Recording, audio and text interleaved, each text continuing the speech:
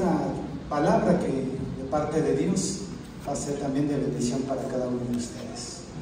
La pregunta es, ¿están listos? ¿Ya están preparados? Quiero que a través de la palabra de Dios, hoy Dios va a hacer algo grande en tu vida, porque es lo que hace la palabra de Dios. Todos sabemos que la palabra de Dios nos instruye, nos enseña, nos exhorta y tiene que haber cambios radicales en nuestra vida. ¿Cuántos dicen amén? quisiera que vayamos a la palabra de Dios para dar inicio al libro de Deuteronomio, este es el quinto libro del Antiguo Testamento, capítulo 7, versículo 26. Deuteronomio, capítulo 7, versículo 26.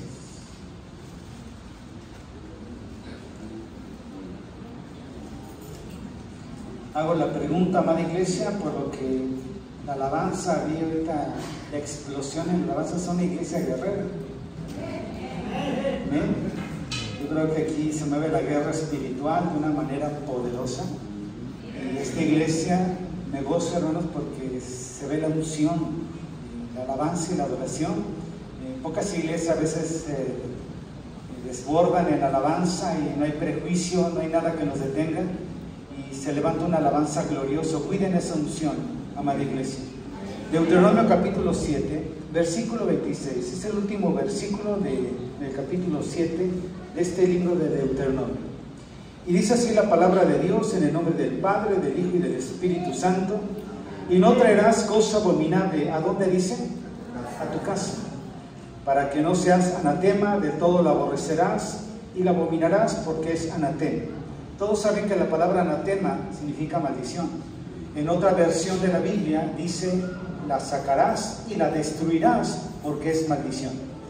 A veces por ignorancia, amada iglesia, por costumbres, por tradiciones generacionales, a veces hemos introducido a la casa, a nuestra vida, que es templo del Espíritu Santo, anatemas. Y la pregunta dirán, ¿anatemas en nuestra vida? Sí, ¿Cuántos de los que están reunidos aquí de repente se desata el enojo, los celos, la ira? A veces salen maldiciones, de repente hay falta de perdón, hay rencor, resentimiento, celos y muchas cosas se desatan dentro de nosotros. Hoy, amada iglesia, vamos a romper toda cadena en el nombre de Jesucristo. Dios demanda un pueblo radical.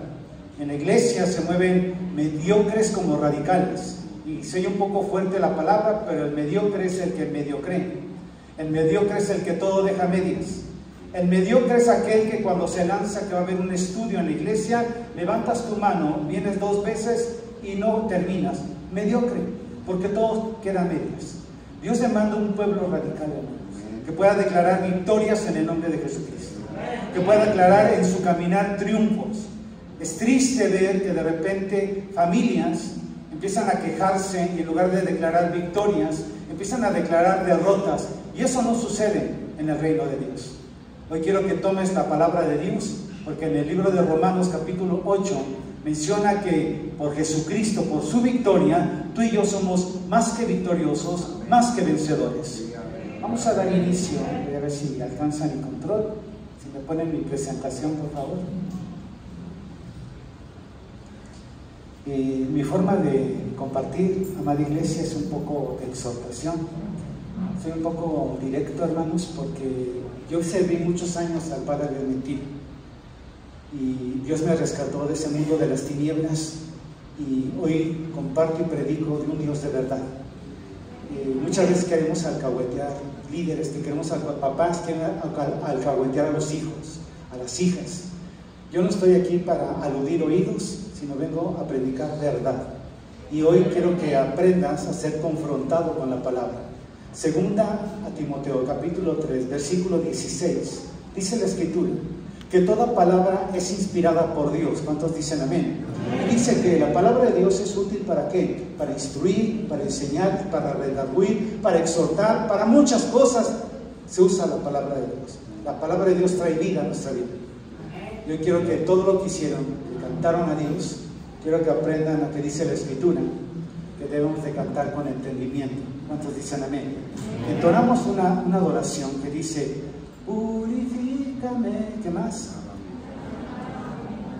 Renuévame, restauraré. Eso va a ser la palabra de Dios Tenemos que cantar con entendimiento. ¿Cuántos están dispuestos a ser renovados en su interior? ¿Cuántos están dispuestos a que toda cadena, porque he conocido cristianos, varones y mujeres de Dios, que hoy están batallando con algunas enfermedades generacionales. Pongo un ejemplo, la diabetes. Y viene de papá, mamá y esa enfermedad ha matado generaciones. Y hoy ha recaído en tu vida, ¿por qué? Porque abriste la puerta y aceptaste la enfermedad. Es que me va a dar porque le dio a mi mamá y, y abrimos y le damos un derecho legal a la enfermedad. En tu vida, varón, mujer, hijo de Dios, hija de Dios, tienes que tomar autoridad en el nombre de Jesucristo, porque Dios da autoridad y poder. Y todo cáncer, toda leucemia, todo sida, toda diabetes se cancela en mi vida y en las generaciones venideras en el nombre, que es sobre todo nombre, en el nombre de Jesucristo. Ya basta, amada iglesia, que estemos alabando a un Dios todopoderoso y viviendo con las incertidumbres de la vida. Tomando las herencias generacionales, hay herencias buenas, hay herencias de maldición. Esas herencias de maldición tienes que cancelarlas de tu vida. Porque ya basta, amada iglesia, que siempre estemos quejándonos, estemos mandando WhatsApp para que oren por nosotros. ¿Por qué? Porque me siento así. ¿Dónde está la autoridad que Dios te ha dado, mujer, varón? Yo puedo interceder por ti, pero Dios quiere escucharte a ti, que ores y que clames a Dios. ¿Cuántos dicen amén? Papá, mamá, es el tiempo de hacer vallado en tu casa, es el tiempo de declarar victoria en la vida de tus hijos para que las siguientes generaciones caminen en los caminos de Dios. Hoy dice así, no te rindas, ¿qué dice? ¿Cuántos están dispuestos a cambiar la estrategia? ¿Seguro? Quiero escuchar ese amén fuerte. Yo, fíjate bien, voy a poner un ejemplo. Muchos varones de aquí son amantes del fútbol y algunos están apasionados por el fútbol. ¿A poco cuando mete gol su equipo favorito dicen gol? abren un poco, nunca hasta se les ve cómo les baila la campanilla gritando gol. Para eso sí, abren la boca. Pueden brincar ahí en su sillón y estar gritando porque tienen una pasión. Hoy quiero que aprendan, amada iglesia, a apasionarse por Jesucristo. Una iglesia que se apasiona por Jesucristo es una iglesia poderosa. Se mueve lo sobrenatural. ¿Cuántos dicen amén? Cambia de estrategia. A veces nos enfrascamos y agarramos una rutina, papás. Así me educó, así me instruyó papá, mamá, y yo no cambio porque así, así soy. Y empiezan a, a moverse en una rutina que ves que tus hijos de repente van en pos de las adicciones. Ves que tus hijos e hijas van por otros caminos no correctos. Y la pregunta es, papá, mamá, que conoces al Todopoderoso, ¿qué está sucediendo en tu hogar? Muchas parejas en algunas congregaciones no están casados y quieren declarar victoria, yo te digo, aquellos que viven en unión libre están en fornicación. Y la Biblia dice que ni fornicarios entrarán al reino de los cielos. ¿Qué sucede ahí, amada iglesia? Que tienes que entrar en el orden de Dios. ¿Cuántos dicen amén? Porque a veces tenemos nuestro hogar hecho un desorden, pero eso sí queremos que la gloria de Dios se derrame. Eso sí queremos que las ventanas de los cielos se abran y derrama a Dios bendición hasta que sobre y abunde. Y vemos que ese pasaje de la Biblia, Malaquías 3:10, no se cumple en mi casa.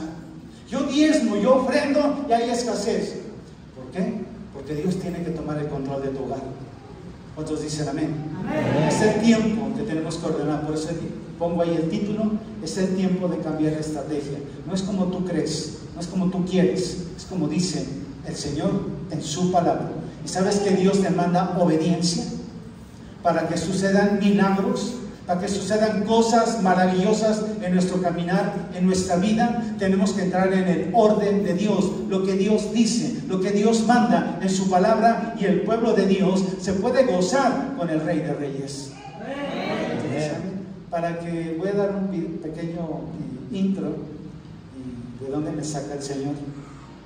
Yo vengo de la ciudad de Querétaro y yo estudié la secundaria ahí y para al final quiero compartirte tres sucesos impactantes que hizo que yo entregara mi vida al Señor. Yo fui secuestrado afuera de la secundaria y me infiltraron a una secta satánica de niños. Esta secta satánica de niños que se encuentra en Querétaro es la única secta satánica a nivel Latinoamérica y es una de las más importantes porque es la única secta satánica que prepara niños para que sean sacerdotes satánicos.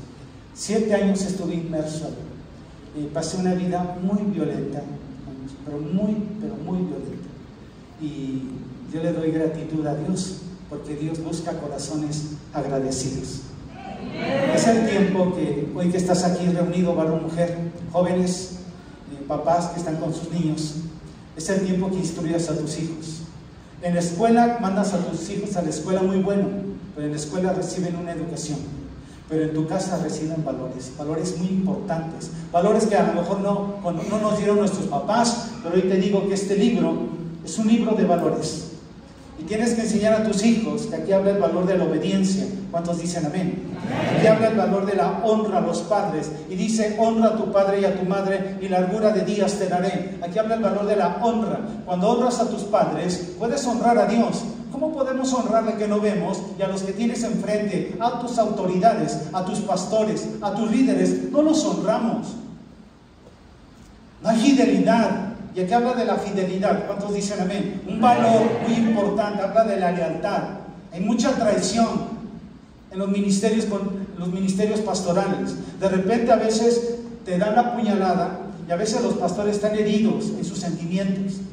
Amada iglesia, aquí hay el valor del compromiso, de la responsabilidad. Hay el valor aquí de la puntualidad. ¿Cuántos dicen amén? ¿Por qué, hermanos? Porque el pueblo de Dios se ha hecho perezoso.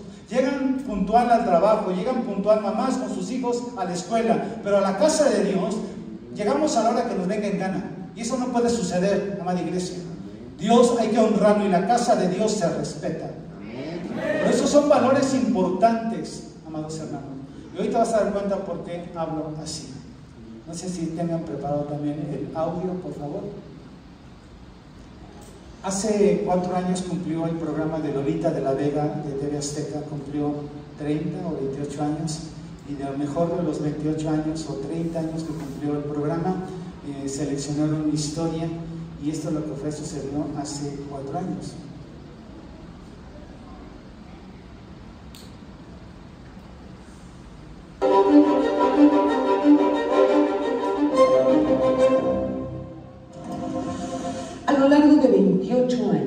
Han pasado por este foro personajes de la política, de la sociedad, de la religión y de la cultura, muy diversos todos entre sí, de distintos credos, ideologías, muchos de ellos muy polémicos. ¿eh? Hemos sido testigos de la historia reciente de este país. Si bien existe Dios, también existe el diablo.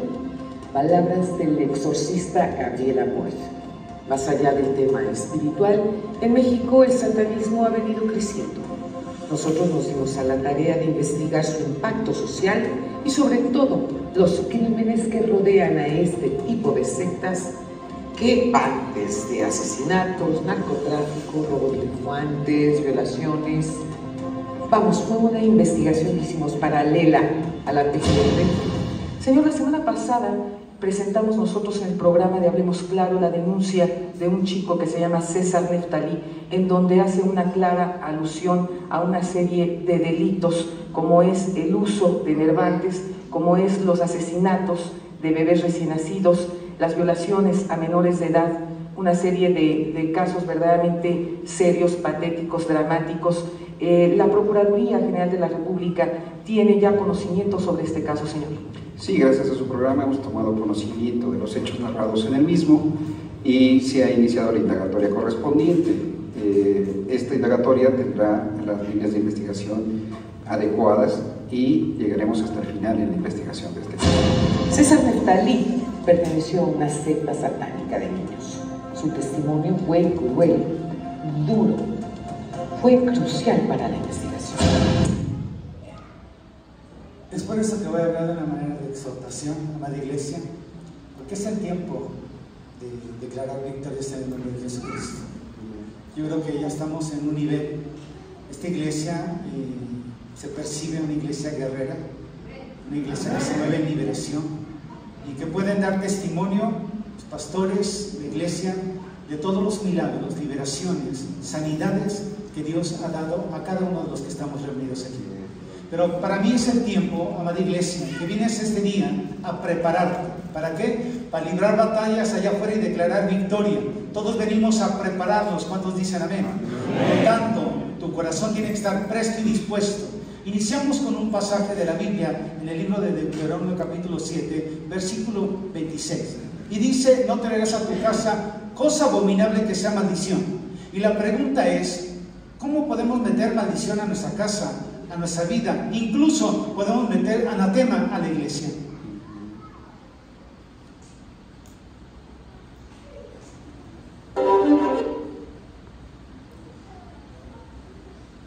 Quiero compartirte que la sociedad se mueve en siete esferas.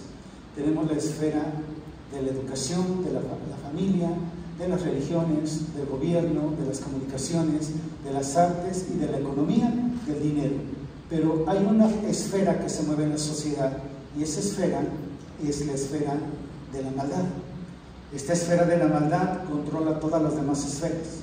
Hoy se darán cuenta que como evangelista, yo soy un evangelista maestro, y como evangelista ya no tengo la libertad en las calles de estar predicando y diciendo que en el reino de Dios ni homosexuales ni lesbianas entrarán al reino. ¿Por qué? Porque ahora hay leyes que los protegen y me pueden demandar por decirlo públicamente.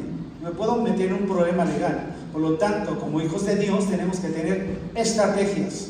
¿Cuántos dicen amén? Por eso el título es Cambia de estrategia. Si no te funciona la forma de educar a tus hijos, papá, mamá, y ves que están en rebeldía y que van en pos de las pasiones del mundo, cambia de estrategia. Pero a veces nos amarramos porque así fuimos educados y las generaciones de hoy y las que vienen, vienen en otro nivel. Y tienen que ponerse al día, papás. Porque hoy en día todo es un desorden. Ahora la tecnología nos ha rebasado papás que ahora le dicen a sus hijos, a ver hijito, ¿cómo le hago aquí? Ya sí, papá, y te están enseñando. Y ahora ya no tú educas, ahora te educan tus hijos. Y eso no puede suceder.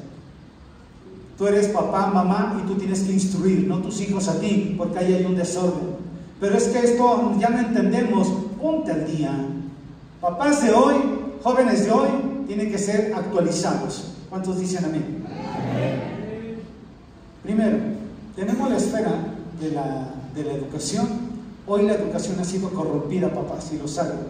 Hoy en los libros de texto ya dice Juanito se enamora de Pablito y ahora ya hablan de homosexualismo. Decía un niño en Chiapas, estuve allá dando una conferencia a los papás de los alumnos y decía un maestro, una maestra la corrieron y, le quitaron la plaza, ¿por qué? Porque el niño dijo, es mi novio, le dijo, no, es tu amigo, no es tu novio. El niño se queja con la mamá, la mamá, mamá va con la directora y es expulsada de, de la docencia esta maestra tan solo por corregir sabiamente a un niño. Para que te des cuenta cómo estamos hoy, que la maldad y los tiempos peligrosos van en aumento. Pero tranquilo, pueblo de Dios, que no funda, ahora sí que no entre el miedo ni que entre el temor.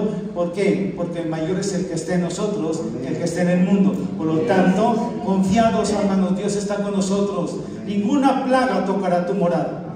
La Biblia, en Génesis, en el libro de Éxodo, hay una historia que Dios saca al pueblo de Israel de Egipto. Y antes de sacarlos, envió cuántas plagas? Diez. ¿Tocó al, pueblo de Israel las plagas? A ninguno, ni, a los pequeños. Murieron los primogénitos, pero de los egipcios. Pero el pueblo de Dios estaba en la mano de Dios. Por lo tanto, hoy el pueblo de Dios, esta iglesia, está en manos de Dios. No habrá plaga que toque tu morada. No hay miedo. El miedo puede abrir una puerta y le podemos dar un derecho legal. La familia es para el rey. La familia ha sido también Se ha infiltrado anatemas, se ha infiltrado el adulterio, se ha infiltrado la fornicación, se han infiltrado los divorcios ahora en, en los cristianos. Yo te pregunto, ¿en dónde dice la Biblia que puedes divorciarte? ¿En dónde dice varón, mujer, puedes cometer adulterio y no pasa nada? Me arrepiento y Dios me perdona. ¿Dónde dice? Hemos querido llevar el Evangelio como queremos. Y nosotros como ministros vienen a pedir consejería porque ya se acabó el amor y que mejor separados que estar juntos. Nosotros no destruimos, estamos para restaurar en el nombre de Jesucristo. ¿Y saben por qué hay divorcios? ¿Saben por qué hay adulterio? ¿Saben por qué hay fornicación, jóvenes? ¿Por qué? Porque no leemos palabra de Dios, no tenemos vida de oración y estamos vacíos. Por eso el enemigo toma su lugar. Y dice la escritura que cuando el espíritu inmundo sale, ¿qué dice? Volveré a dónde? A mi casa. No dice volveré a ese lugar, dice, te toma como un derecho legal que le dimos nosotros por ignorancia o aún en conocimiento. Por lo tanto, tenemos que tener una vida llena de oración, de la palabra de Dios, y verás que ningún espíritu puede habitar tu hogar, tu familia, tus hijos, tu ministerio. Es el tiempo, varones y mujeres, que es el tiempo que hoy tomes una buena decisión. ¿Cuántos dicen amén? Basta ya de malas decisiones. Todos están aquí testigos de esas malas decisiones, las consecuencias que han desatado. Por lo tanto, vamos a tomar buenas decisiones. Sabían, amada iglesia, y si piso callos, lo siento, pero yo vine a hablar verdad. ¿Por qué se ha infiltrado la fornicación? Y esa es una anatema. Porque se ha permitido el noviazgo. Y la Biblia no habla de noviazgo. La Biblia habla de amistad, habla de compromiso y matrimonio. ¿Qué sucede? El noviazgo lo quieren llevar como el mundo, jóvenes. Pero entonces, ¿cómo voy a encontrar a mi media naranja? Te pongo un ejemplo bíblico, jóvenes, porque van a decir, ay, ya me inviten a ese hermano. La Biblia menciona un ejemplo tan claro de María y José, dos jovencitos. Estaban comprometidos, pero José no había tocado a María. Era virgen. Hicieron un compromiso porque tuvieron amistad y luego un compromiso después matrimonio. ¿Cómo llevan el noviazgo? Como ustedes quieren, jóvenes. Con arrumacos, estarse retrancando allá afuera, besuqueando a veces dentro de la congregación. Ese es el noviazgo que ustedes llevan porque el mundo así se los presentó. Y dice aquel que se haga amigo del mundo, se constituye enemigo de Dios. Y si te haces amigo de Dios, nos hacemos enemigos del mundo. Por lo tanto, jóvenes, por eso de repente se calientan jóvenes y de repente se comen el mandado y vienen y que hay que casarlos para tapar el ojo al macho, para evitar la murmuración. Y yo no me hago cómplice de nadie. ¿Por qué? Porque dije, en el mundo eran nueve meses para que naciera el bebé y en Cristo al cuarto, quinto mes ya nació el bebé. Dije, gloria a Dios, ahora ya se redujeron los meses en Cristo. Vemos la esfera de la religión, vemos la esfera de que las religiones también han permitido entrar anatemas. Comparto esto. He estado en eventos donde invitan a raperos. Los raperos van con cadenas, con chores, con tenis, con gorras, todo un atuendo y enseñando todos sus tatuajes. Toda la música del mundo, la cual era su pasión, solamente le cambiaron la letra y lo meten. Y el pueblo lo acepta. Y para mí, hermanos, todo lo que es del mundo, yo no lo puedo meter a la iglesia, porque este lugar es santo.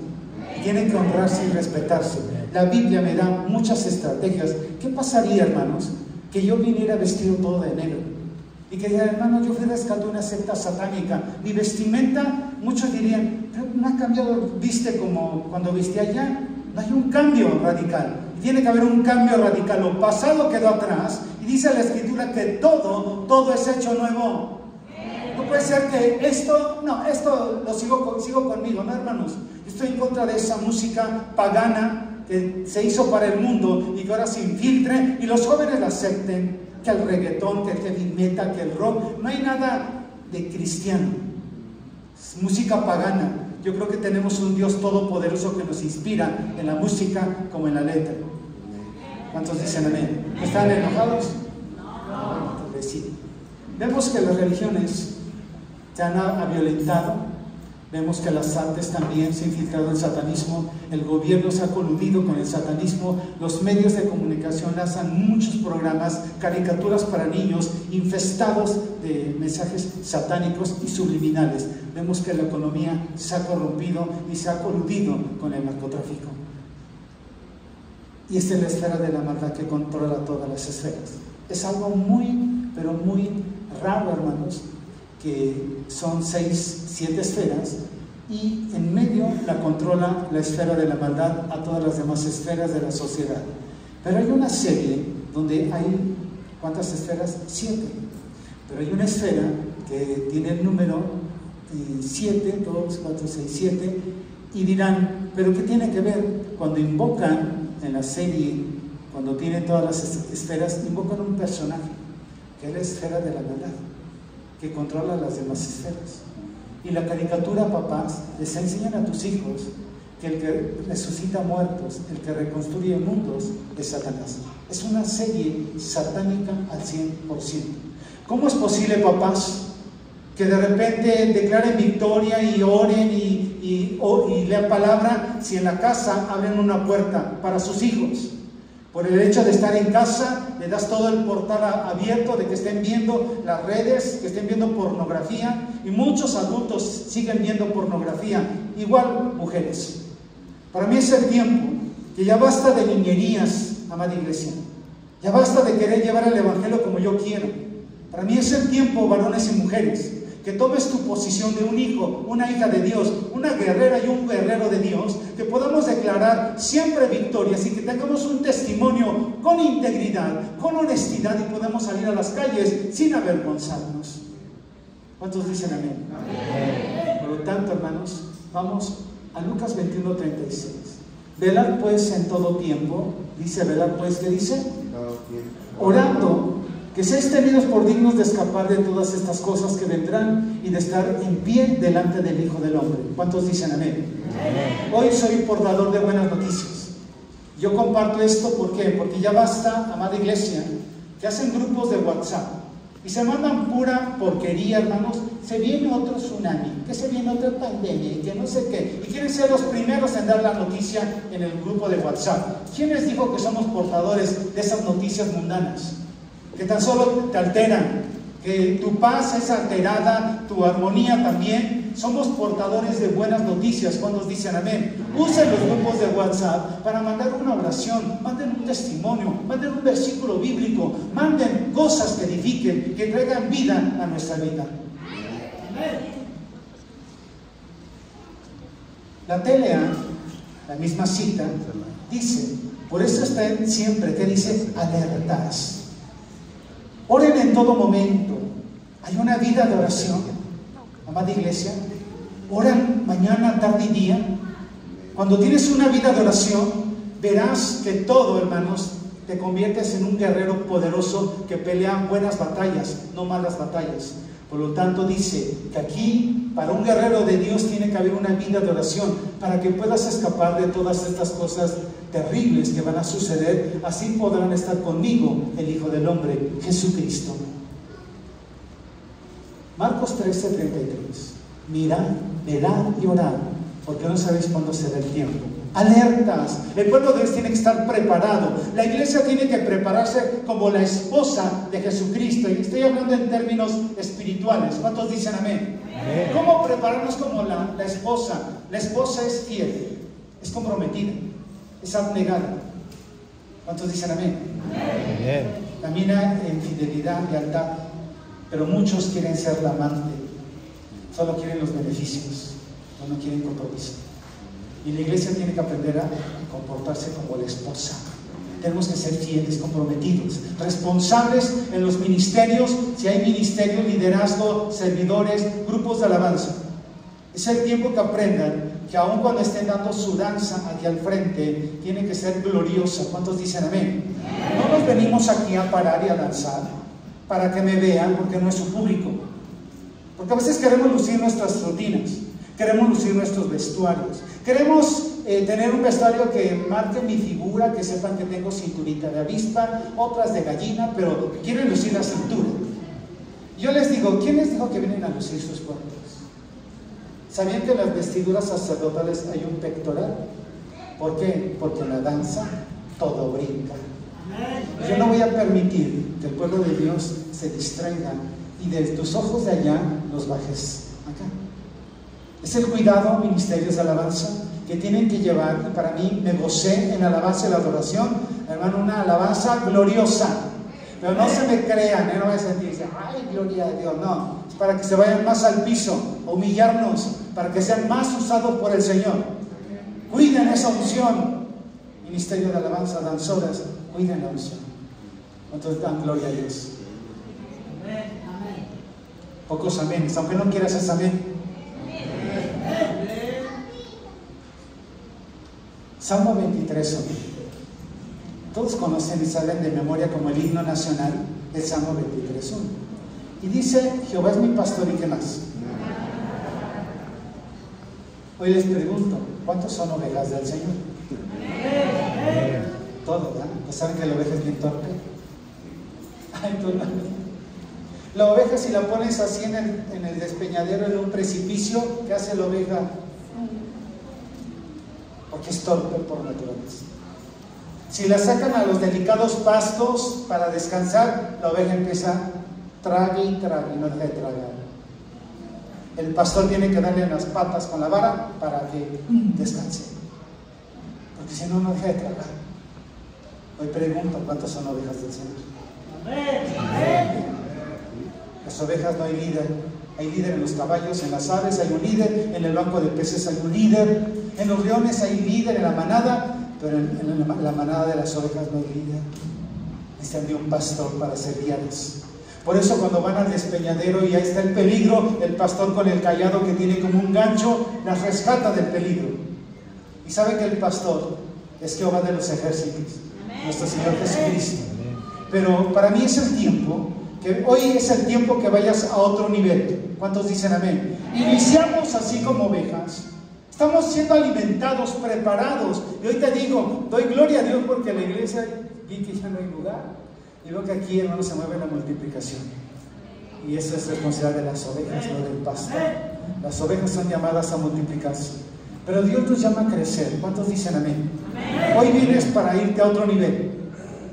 Quizás estabas en un nivel bueno, Dios demanda que vayas a un nivel mejor. ¿Cuántos dicen amén? Y si estás en el nivel mejor, Dios demanda que vayas a un nivel de excelencia, porque Dios demanda un pueblo de excelencia, porque tenemos un Dios excelente. Dice la palabra de Dios, yo por los regó, pero el crecimiento lo ha dado Dios, así que ni el que planta es algo, ni el que riega, sino Dios que da el crecimiento. En Isaías 40:31 viene una historia que dice que los que esperan a Jehová, ¿qué sucederá? Levantarán alas como quién. Es el nivel que hoy te quiero compartir. Vamos a un nivel, las ovejas no vuelan, el águila sí. Y Dios demanda que el pueblo de Dios ahora emprenda un nivel como águila, que pueda volar, que pueda salir a testificar, porque a veces no queremos salir del nido. ¿Y sabías que la mamá y papá águila avientan sus polluelos para que vuelen y se independicen? Pero a veces no queremos salir del nido, no queremos testificar, no queremos proclamar que aquí se predica y se alaba un Dios vivo. Y es el tiempo, María Iglesia.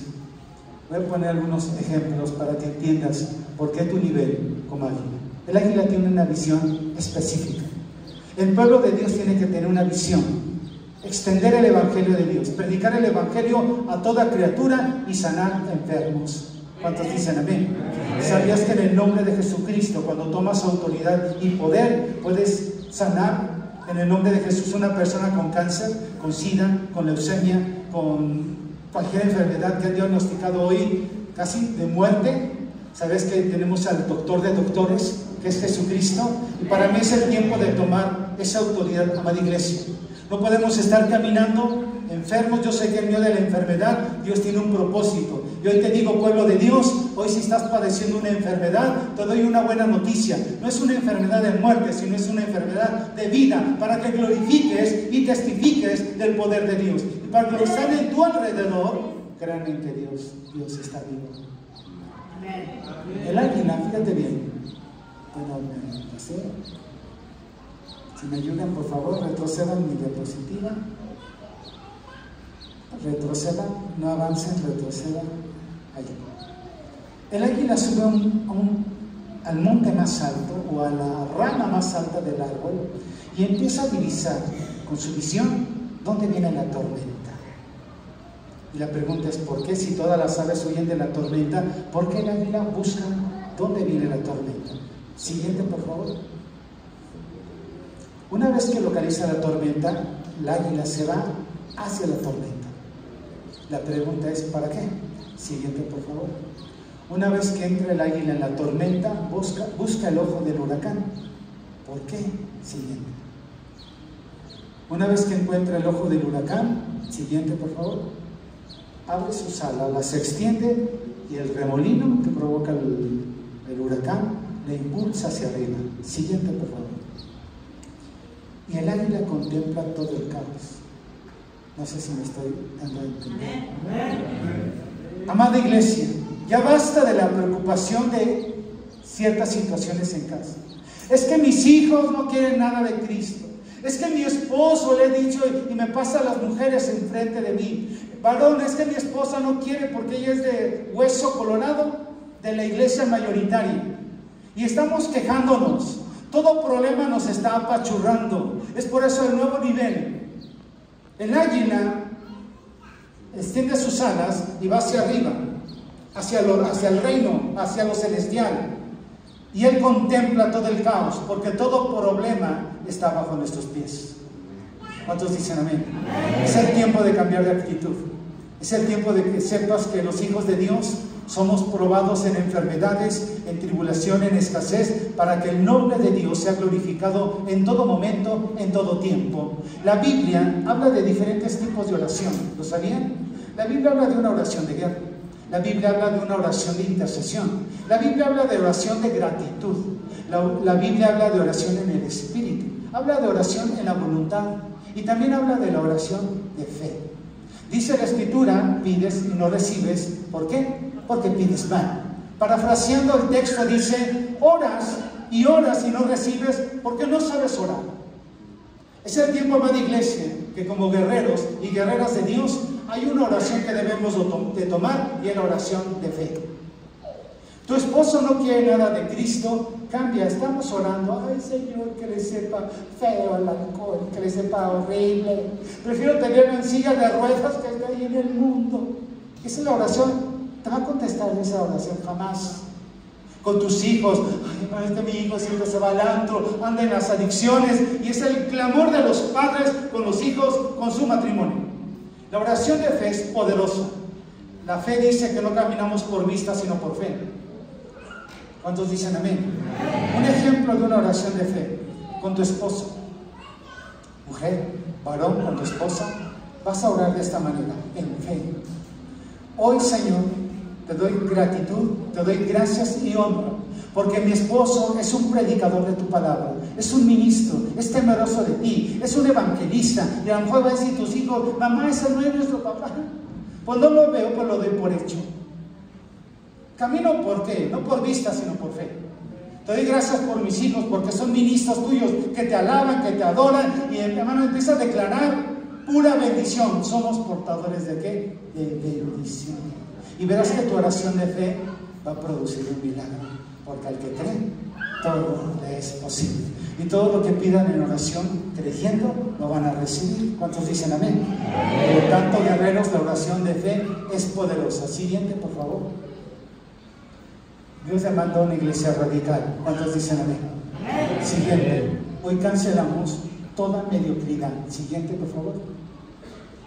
Todo mediocre ya no hay aquí. Por fe declaramos una iglesia radical. En el nombre de Jesucristo. Es el tiempo, varón, mujer, que a veces que Dios te ha dado armas poderosas y se llaman dones espirituales.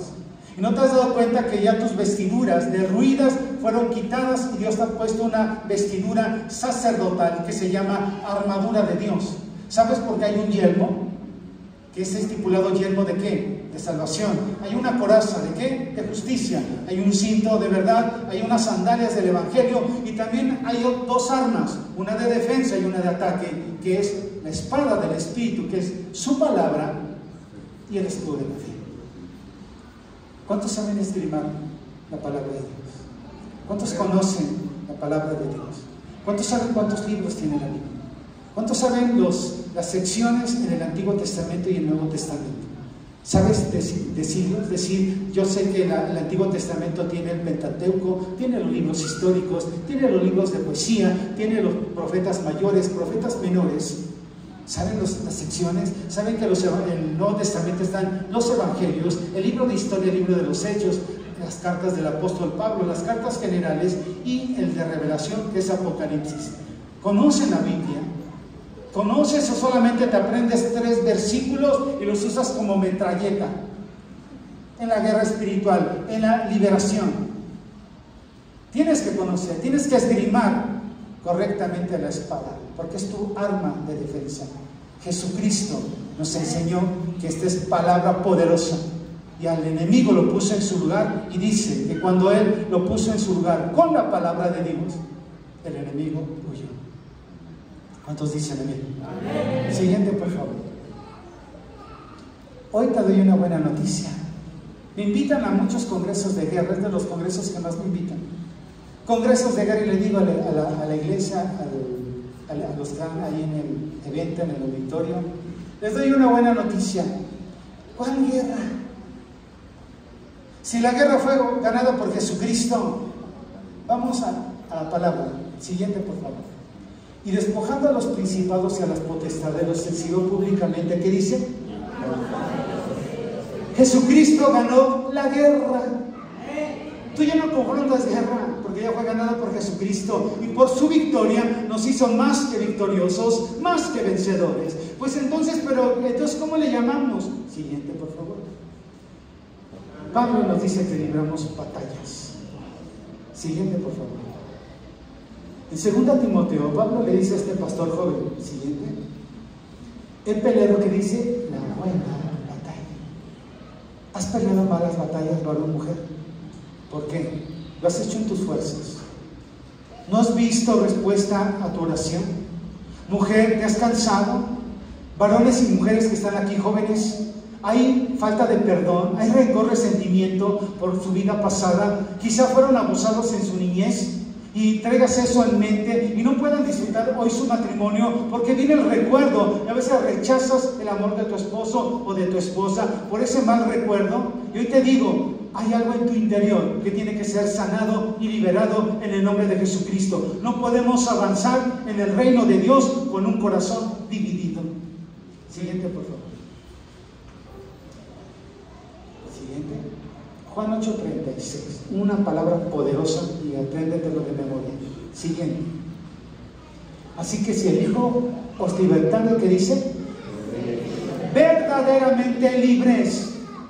¿Cómo es posible que un cristiano, ay, es que me está pasando esto, pastor, y venga aquí a quejarse? ¿Cómo es posible que vengan aquí al frente y ido a iglesias donde pasa la hermana o el hermano a mendigar?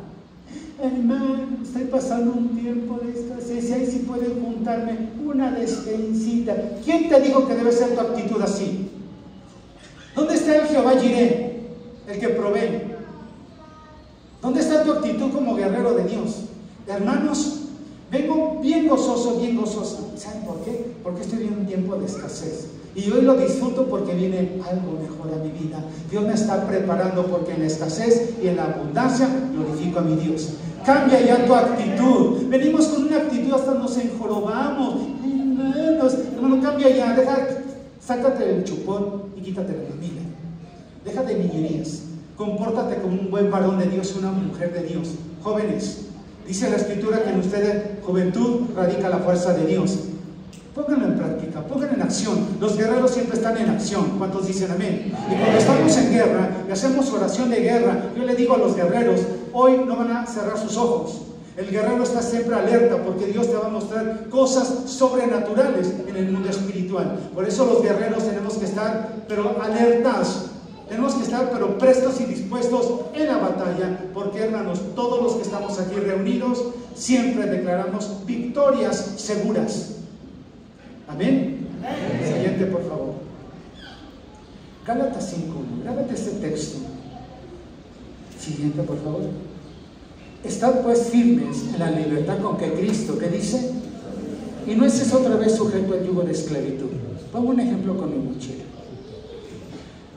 Domingo a domingo, cada que hay reunión, cada que hay un evento en la iglesia, Todos venimos así con un costal de problemas, de conflictos, de, depresión y venimos así con el costal a la iglesia y lo ponemos a un lado de nosotros. Y empezamos a adorar, alabamos a Dios, danzo, y viene la palabra, ay, gloria a Dios, esa palabra es para mí. Empieza el pastor o el hermano que preside. Hermanos, quedan despedidos, que Dios les bendiga. Amén, gloria a Dios. Ay, mi costal. Te vas como llegaste. Dice la escritura que no tomes otra vez que dice el yugo de esclavitud, la cadena. Hoy cuando salgan tienen que irse diferentes a como llegaron. Una vida transformada. Lo que impacte hoy tu vida, lo vas a hacer en tu hogar. Hoy la gloria de Dios se extiende no tan solo en ti, en tu casa. Cuando llegues vas a ver un ambiente, una atmósfera totalmente diferente. Ya no va a ser lo mismo. Pero tienen de guardar y cuidar. Para mí eso es pelear la buena batalla. Siguiente, por favor. Otra promesa poderosa. Vamos a Juan 8, siguiente. Juan 8, 32. Siguiente. Conocerán la verdad y la verdad los hace libres. Ay, como que creo, pastor, que estoy como que al 50. ¿Tú me dices eso? Dios dice que te hace verdaderamente qué? Libre. Pero cristianos que dicen, es que todavía como que traigo ahí algo, no. Eso es porque tú lo quieres tener. Dios quiere dar una libertad total y verdadera al 100, amada iglesia. Pero depende de tu decisión, de que tomarla o decir, esto no, esto me gusta, ese es tu problema, esa va a ser tu decisión. Pero ya basta de estarnos quejando, amada iglesia. Es el tiempo de ser agradecidos. Dice que los que amamos a Dios, ¿qué dice? Todas, todas las cosas ayudan a qué? A bien. Hoy estás pasando una enfermedad, Ten la seguridad que viene una salida segura a tu vida, porque eres un hijo, una hija de Dios. Están atravesando un conflicto, Dios los está preparando para otro nivel. Dios está fortaleciendo tu fe, tu confianza en Dios. Y a veces no lo entendemos si nos estamos quejando, ¿por qué a mí, Señor? ¿Por qué en la pandemia murió el cristiano y, vivió el mundano? Y en la pregunta, la incertidumbre, todas las cosas nos ayudan a bien. Amén. Siguiente, por favor. Mi identidad, ¿tienen identidad? Pueblo de Dios. Siguiente. Te miras en el espejo y no te gusta lo que ves. ¿Qué voy a pintar el pelo de güey? No, me estoy muy lacia, yo quiero ser china. Y las chinas quieren ser lacias. Las morenas quieren ser buenas y las buenas morenas. Y nadie está contento con su identidad. Jovencitos que se ponen pantalones obligatorios y dicen, ¿verdad que le doy un aire a Belinda? Sí. Jóvenes que quieren imitar a Justin Bieber y para nada, porque no aceptas tu identidad. ¿Y sabes qué sucede? Que no te amas. Y no se cumple la regla de oro, que tienes que amarte para amar a tu prójimo. a veces rechazamos mi identidad, no nos gusta como somos. Incluso nos acomplejamos de nuestros padres por decir por ahí, por culpa de ellos, soy así. ¿Por qué no nací con esos papás europeos? Y me sacan las fotos los hermanos. Mire, hermano, yo era bien delgada, mire, era. Los hermanos, mire, hermano, era galán, era. Ya no vivas del pasado.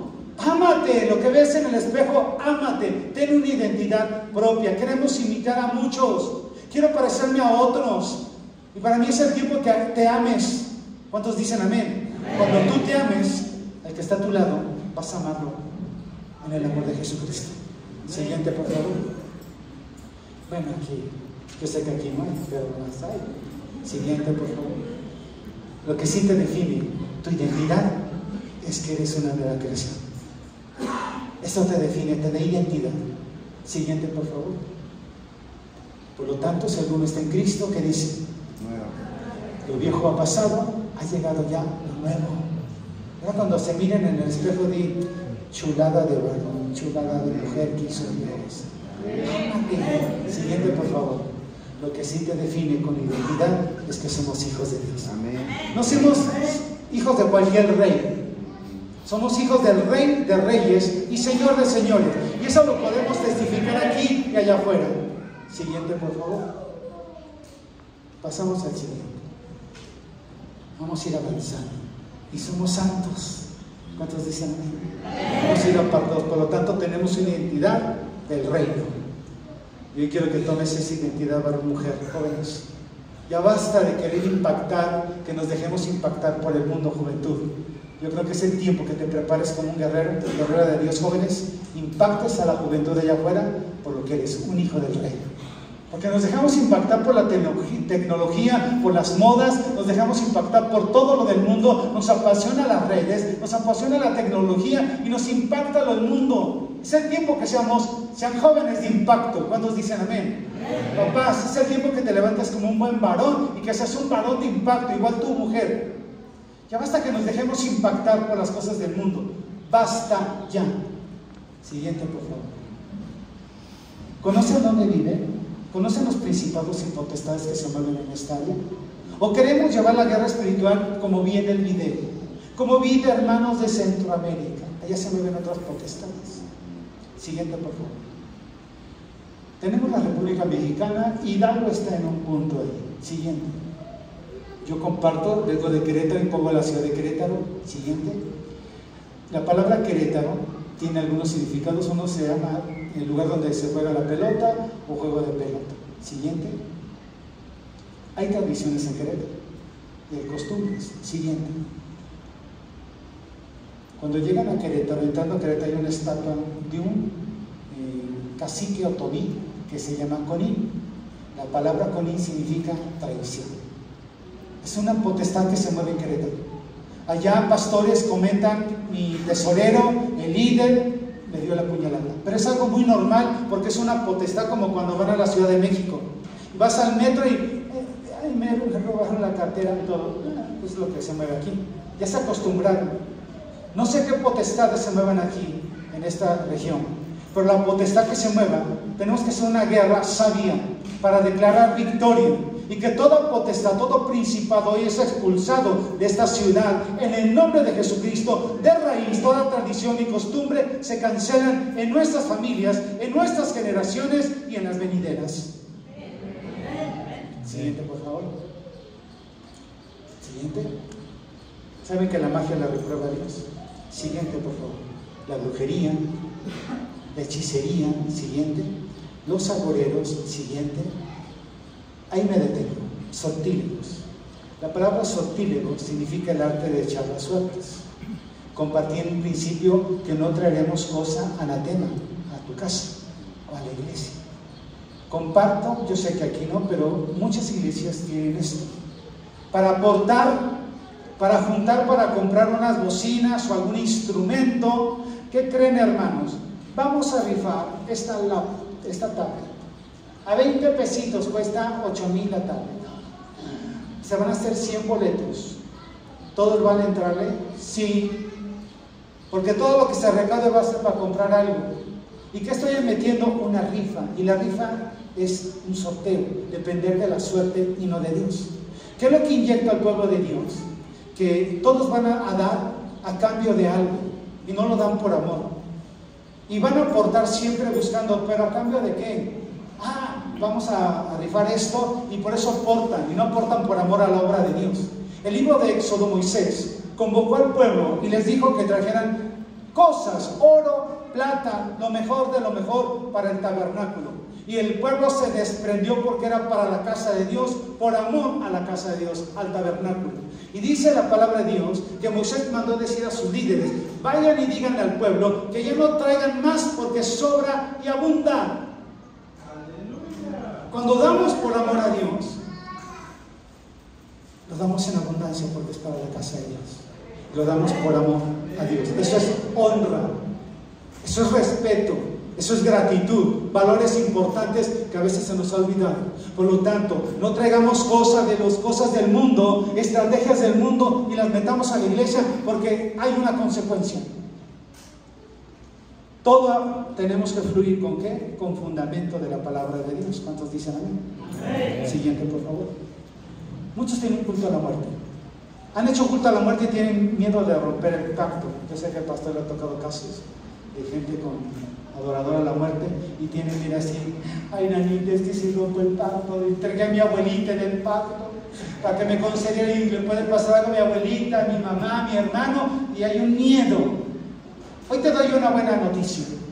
Todo pacto satánico, todo pacto con la muerte se rompe porque se rompe en el nombre que es sobre todo nombre, en el nombre de Jesucristo. Por lo tanto, esa es la buena noticia que les doy, porque a veces hay un miedo a romper los pactos. Siguiente, por favor. Los tatuajes. Hoy en día he ido a lugares donde los ministros les dicen que sí se pueden tatuar. Que porque, pero no se pongan monstruos ni calaveras, pueden ponerse un texto bíblico, el pececito, o ponerse la estrella de David, pero cosas buenas, y les dicen que sí se pueden tatuar. ¿Dónde dice la Biblia? Siguiente, por favor. Siguiente. Está el fundamento ya no Dios dice que no puedes tatuarte. No puedes violentar ni lastimar el templo del Espíritu Santo.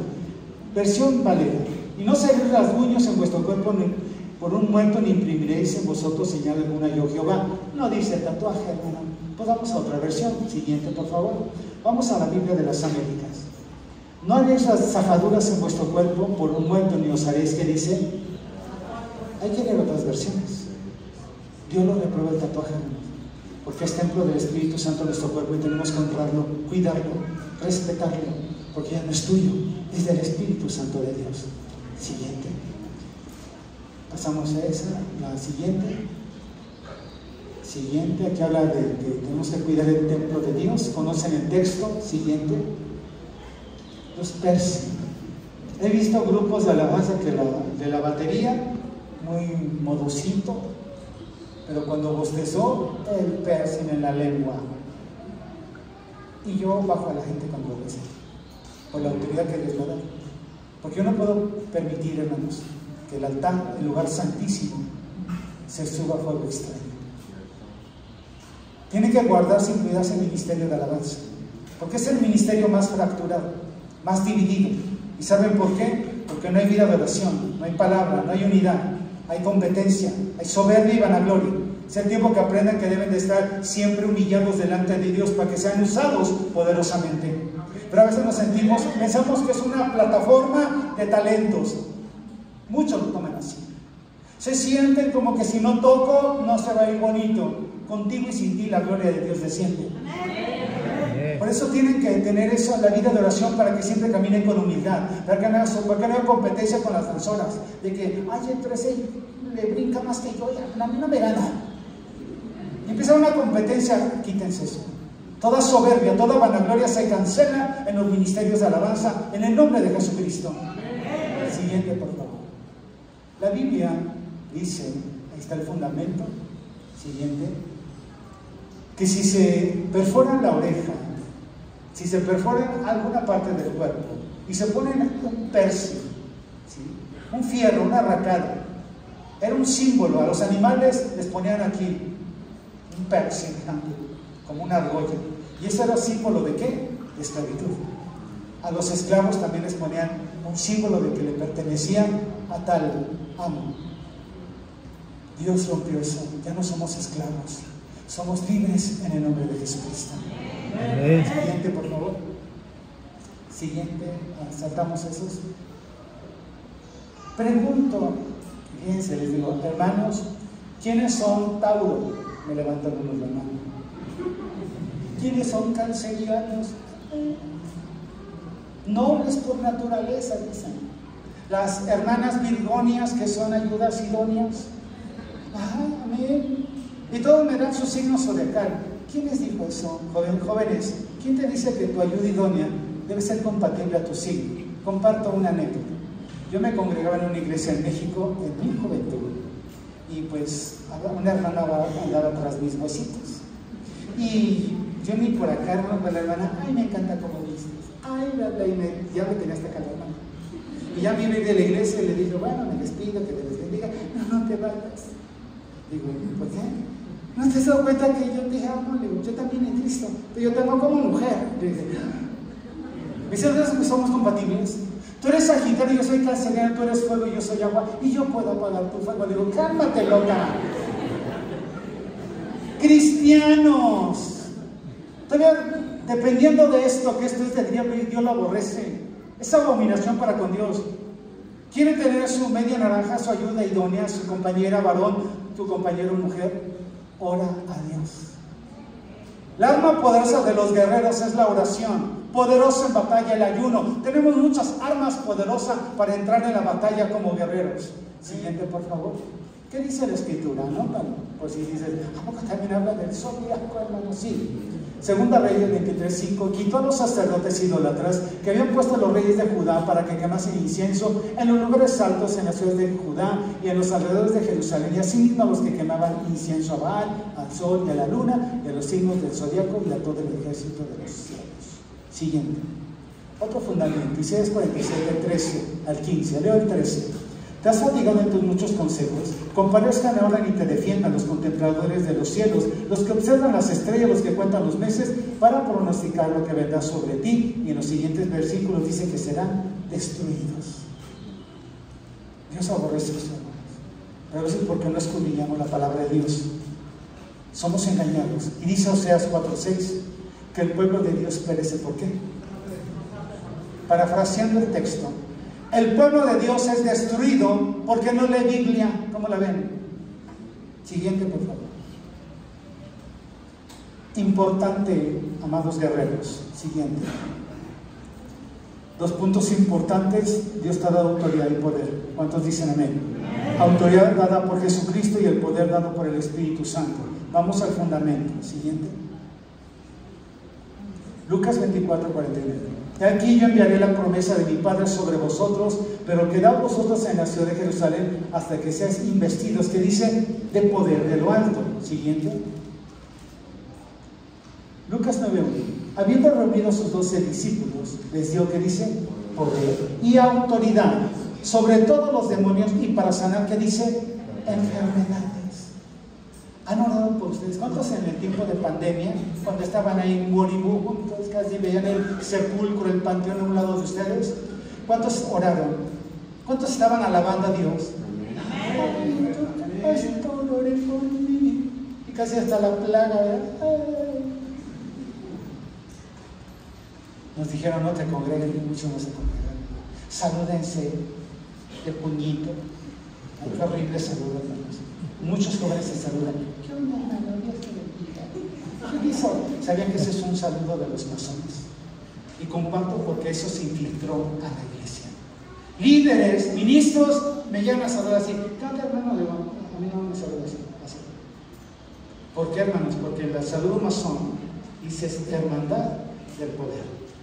Y tienen otro saludo los masones y ese saludo se difundió y entró a la iglesia. Salúdate como un hijo de Dios. Dios te bendiga, hermano.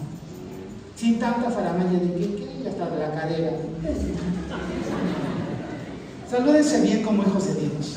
Porque, hermanos, cuando alguien te diga Dios te bendiga, no seas como muchos que te digo Dios te bendiga, igual, botellita de Jerez. Repite la bendición, sí, amado hermano, que Dios te bendiga también. Te pesa dar la bendición, pero eso sí, para las cosas del mundo gritamos y todo. Pero es el tiempo que te comportes como un verdadero guerrero y guerrera de Dios. ¿Cuántos dicen amén?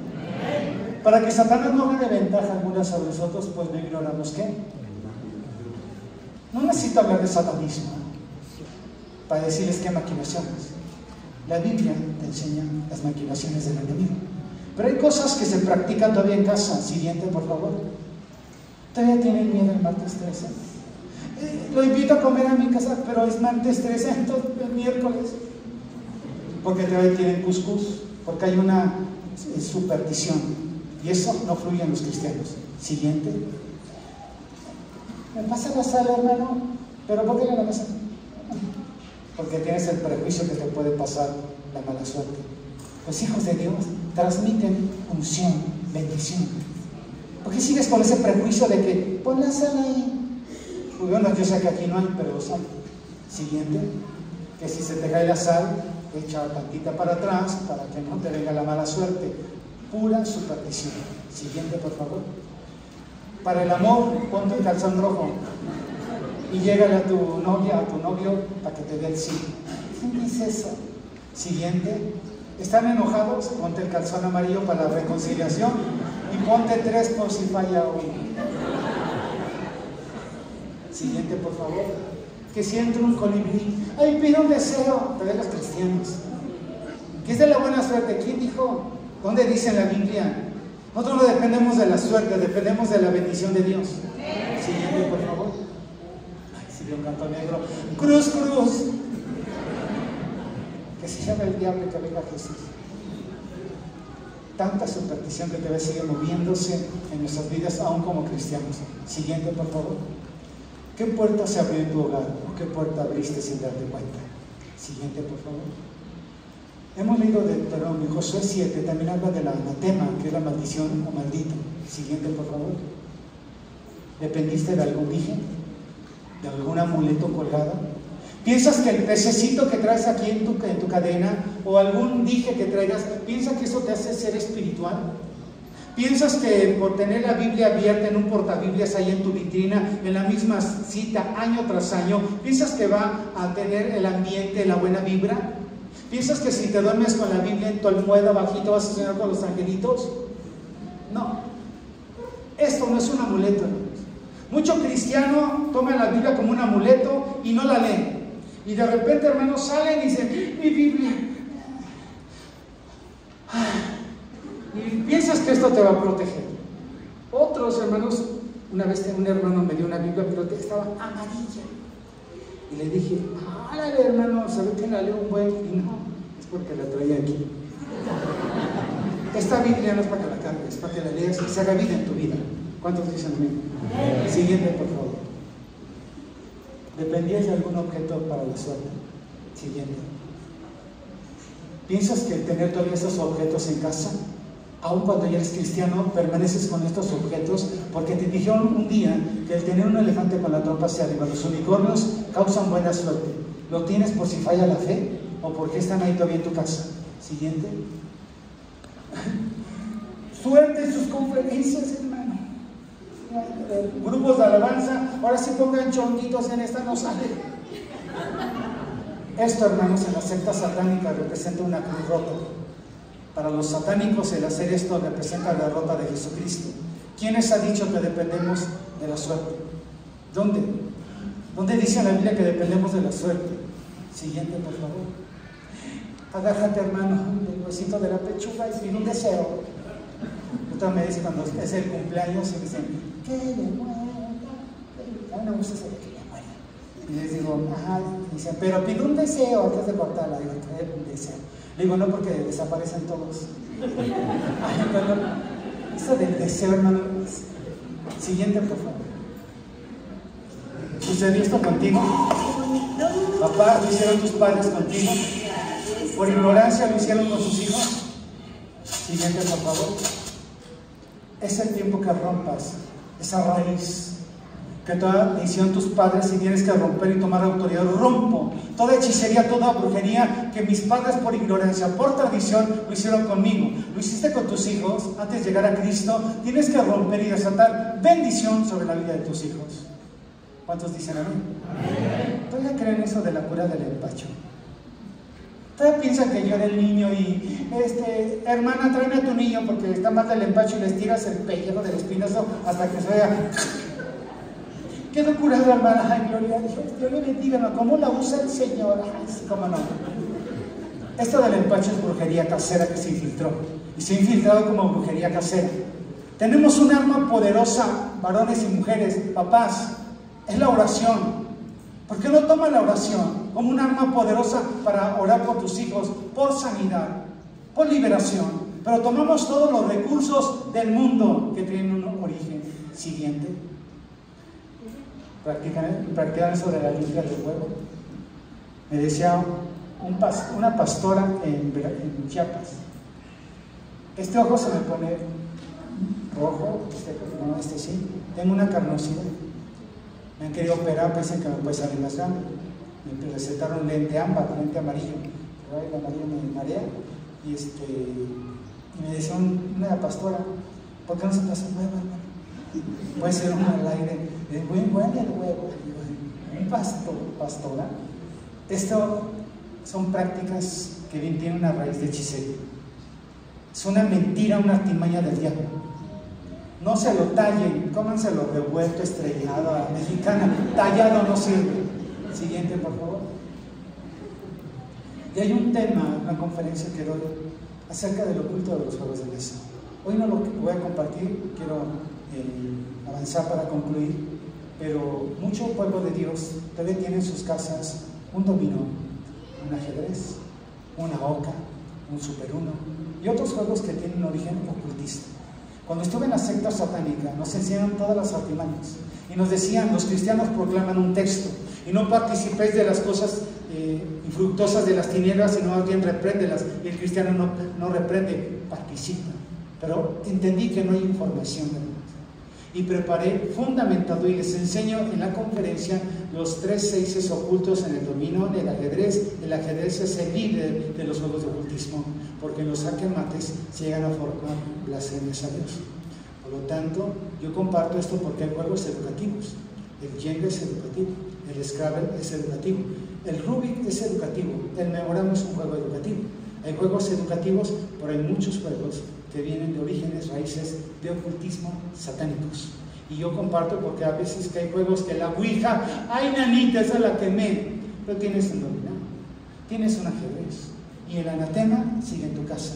Y el hogar tiene que ser limpiado, así como en esta vida. ¿Cuántos dicen amén? Siguiente, por favor. Iniciamos desde la Siguiente. Hay herencias de bendición que se transmiten generación a generación, pero hay herencias también de maldición. Siguiente, por favor.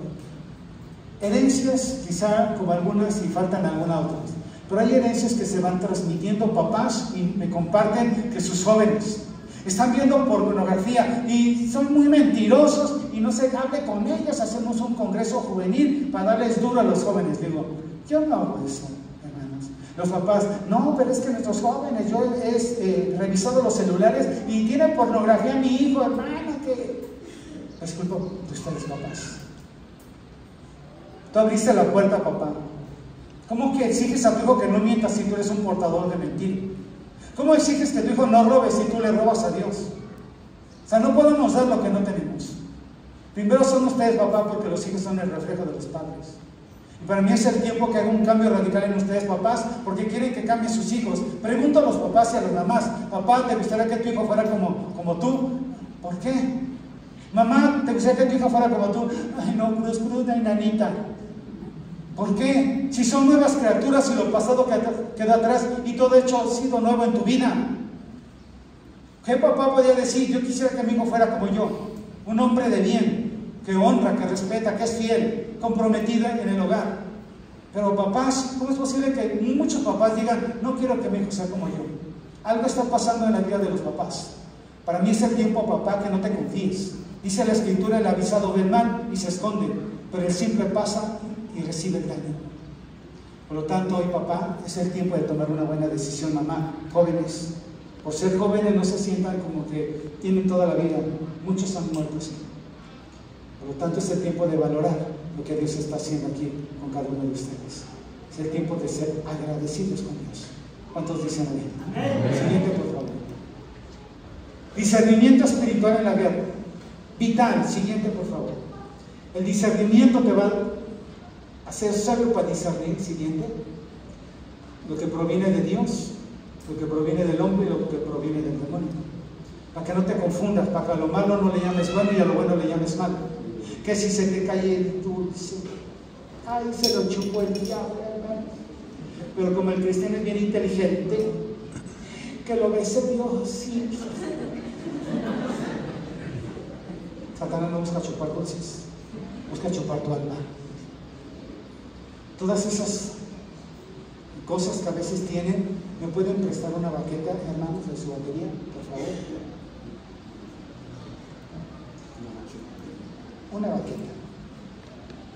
Hay un, antiguamente había una práctica que se hizo muy popular, era, gracias a no sé si iban a practicar el famoso péndulo de hilo con una aguja. Y cuando estaban embarazadas, que para no invertir en el ultrasonido, ponían, viejo, ponlo a la altura de mi ombliguito. va a ser niño viejo. Y se paraba la aguja. Va a ser niña vieja. Y empezaba a dar vueltas. Ay, vieja, quién sabe qué van a hacer, pero algo van a hacer. Y dependían de eso. Eso se llama el péndulo. Y es como una ouija. Hoy quiero que aprendan a ser maduros y no satanicen todo. Porque a veces satanizamos todo. Si ven al albañil con la plomada, que digan, viejo hechicero, lárguese. Eso no es, no, es, simplemente la plomada que parece el péndulo, es para que quede creo que el piso parejito, que es una medida. Yo creo, ¿no? Hermanos que saben de, de construcción, pero no satanizamos todo. Hay muchos que ven demonios hasta en la marucha.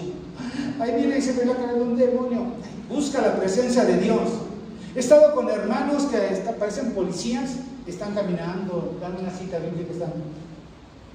Le digo, ¿es policía, hermano? Me dice, no, soy líder. Y de repente le dicen al pastor, ¿qué crees? Percibí algo raro en el hermano. En la hermana esa como que sentí, percibí un espíritu inmundo. Déjate de niñerías, por favor. Compórtate como un hijo de Dios. Aquí, hermanos, venimos a buscar la presencia de Dios porque todos somos templo del Espíritu Santo y no puede cohabitar otro espíritu en ti. Hermanos, estamos buscando del mal. Busca de Dios. Sé portador de buenas nuevas, no de malas nuevas. Ya basta, hermanos, que queremos quizá empaparnos del satanismo, hermanos. Yo no hablo de ese ser vencido y derrotado. Le serví por años al poderoso pero conocí al Todopoderoso. Y hoy te digo, los valores que te estoy hablando de honra, de disciplina, de puntualidad, no los conocí en la iglesia cristiana, los conocí en el satanismo. Piensan que los satánicos son andrajosos, mugrosos, les mintieron. En las sectas satánicas es una limpieza extrema. Nos exigían, para entrar a los ritos satánicos, nos revisaban uñas, nos revisaban zapatos boleados, que no trajéramos pelos aquí crecidos acá, nos revisaban cuello que no trajéramos mugre, porque dicen, aquí tienen que entrar excelente, porque vienen delante de Satanás. No había asientos, eran parados, no tienen la bendición de tener asiento para descansar. Y a veces tomamos así, hermano, es Pero para el fútbol ahí están dos horas. Y si hay resumen, me lo he hecho. Pero para las cosas de Dios siempre estamos con el reloj. Ponemos tiempos. Para mí este día dice que es el día del Señor. No dice la mañana ni la tarde, el día del Señor. Tenemos que estar preparados porque queremos ser muy conformistas. Queremos tomar las cosas de Dios a mi gusto, a mi parecer, a mi conformidad, a mi confort. Y hermanos, ayer eran parados toda la noche, así como soldados. Se duermen las piernas. Una ocasión quise descansar y llegaron por atrás con un palo y me mandaron por allá ¿Por qué me pegas? Dice, párate bien porque aquí se respeta a Satanás. Imagínate el respeto que tiene. Por eso soy así, hermanos.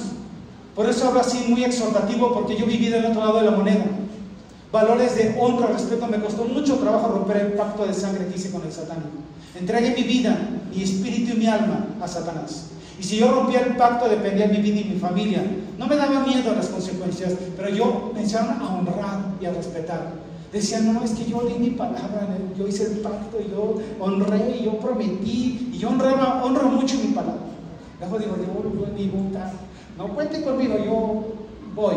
Después digo, ay, ¿para qué dije? Pero yo tengo que honrar mi palabra porque me hicieron la honra. Cuando llega Jesucristo, me di cuenta que este libro es un libro de valores. Y debes leerlo para que conozcas los valores que Dios te manda allí. ¿Cuántos dicen amén? amén. Por tanto, hermanos, soy así, soy muy disciplinado, soy muy, me gusta mucho la puntualidad. ¿Por qué? Porque para Dios lo mejor. Somos puntuales en el trabajo, somos puntuales en otras cosas, pero para las cosas del reino somos unos irresponsables. Y la Biblia habla de responsabilidad. ¿Son responsables como hijos de Dios? ¿Son comprometidos como hijos, hijas de Dios? Pregunto. ¿Honran a Dios sobre todas las cosas? ¿Está en primer lugar en tu vida? O está en segundo, en tercer término, último lugar, Jesucristo. Por eso no vienen las cosas como oramos, como queremos, porque dice una promesa de Dios. Y es un fundamento. Buscar primeramente el reino de Dios. ¿Y qué más? Su justicia. Y lo demás vendrá como. Pero muchos jóvenes dicen, es que los cristianos están bien feos. Pero los filisteos, mmm, yo voy a, llegar, pero yo lo voy a convertir. ¿En qué? No sé. Así no funciona. En el desorden no funciona Dios. En el orden de Dios. Es el tiempo que aprendan a escudriñar la palabra de Dios. Siguiente, por favor. El discernimiento espiritual te va a discernir cuando una persona está oprimida, influenciada y poseída. Hay gente que no tiene demonios, pero está influenciado, está oprimido, está haciendo su show. ¿Sí han está tocado casas, pastor? Estuve en un caso de una enfermera en México y el pastor me dice, tengo cuatro meses, ¿verdad? Una vez se me lanzó y me mordió aquí, mire, y digo, ¿te debo seguir Y ya tengo cuatro meses, lo invito a compartir, terminando, nos apoya allá arriba. Ah, terminé y ya, ya lo vi líder en mi pastor y dije, ah, ¿a quién le entrego el micrófono? Ya me dijo, a mí. El pastor dice que es una. Ah, ahí Y se veía conmigo subiendo,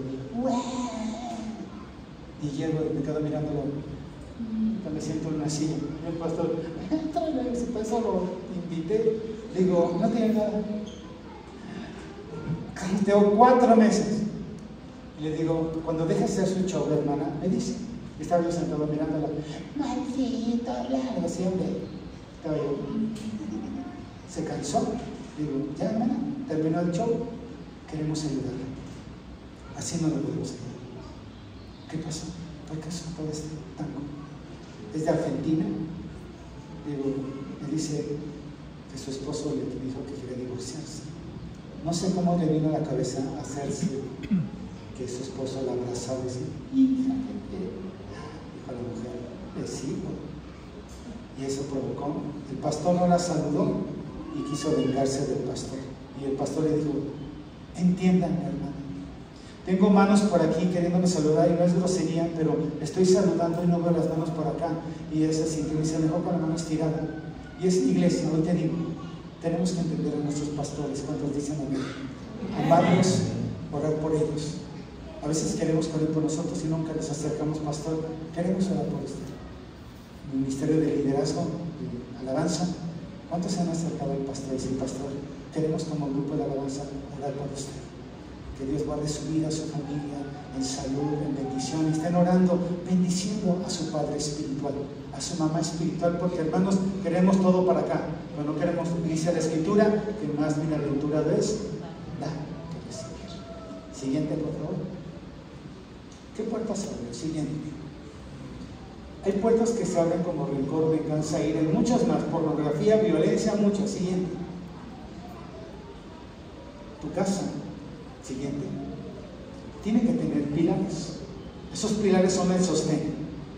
Cada pilar es un valor. Los valores van a ser el sostén de tu hogar, valores que vienen en las escrituras. Pero los hogares a veces son derribados, derrumbados, porque no hay valores que sostengan, no hay fundamentos. Es por eso que muchos batallan en sus hogares, mujeres que de repente hoy están aquí, varones, y todavía el machismo lo sigues desatando en tu hogar. Todavía piensas que la mujer, la ayuda idónea que Dios te dio, todavía piensas que es tu sirvienta, tu criada. ¿Y quién dijo eso? ¿Dónde dice la Biblia? La Biblia dice que es tu ayuda idónea, tu compañera. Vaso frágil, mujer virtuosa. ¿Cuántos dicen amén? Pero todavía piensas que la mujer te tiene que atender como si fuera tu sirvienta. Eso estás muy equivocado, varón. No de que te sientas y la cuchara, amor, párate. Te levantas y dejas ahí todo incluso la silla abierta. Cierra, ten educación, es un valor importante la educación. Levanta tu plato y llévalo y si lo puedes lavar, lávalo. Un buen varón de Dios sabe planchar, lavar ropa, hacer de comer, sabe limpiar. Cuando es cuestión de la, de la iglesia, de un evento, hermanas, ¿quién está dispuesta? ¿Y los hombres qué?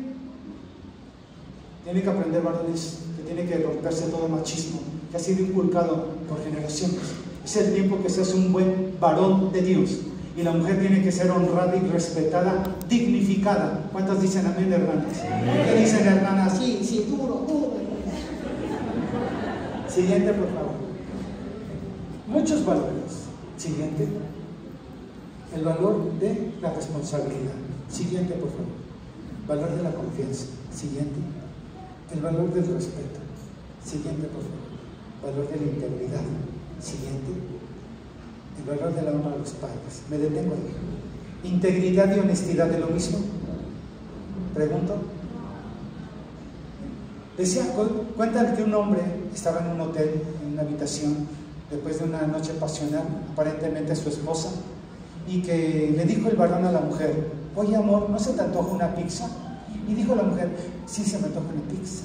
Y habla por el celular, pide la pizza, llega de repente y, ah, su pizza, ah, gracias. Y abre la caja y era puro dinero. Ah, la mujer, ay, todo esto ya es nuestro. Ah, ah. El varón, no, se equivocaron en la caja, pero ya es nuestro. No. La mujer indignada le dijo hasta de lo peor a este hombre y dijo, no, vamos a entregar esto, pero ama y hablando pestes a este varón. No concebía la mujer que teniendo una caja llena de dinero, fuera a regresar el dinero.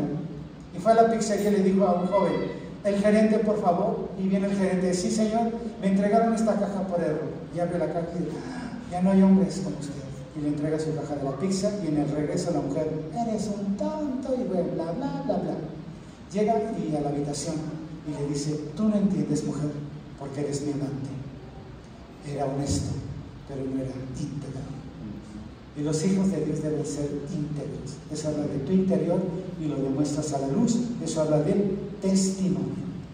No podemos dar lo que no tenemos. Como varones, mujeres que están reunidos, líderes, ¿Cómo quieres aconsejar a una persona, a un matrimonio que respeta a su esposo, que lo honre y tan y bla, bla, bla, bla, si tú no lo haces? No puedes dar lo que no tienes. Tu palabra es hueca, vacía, no trae peso.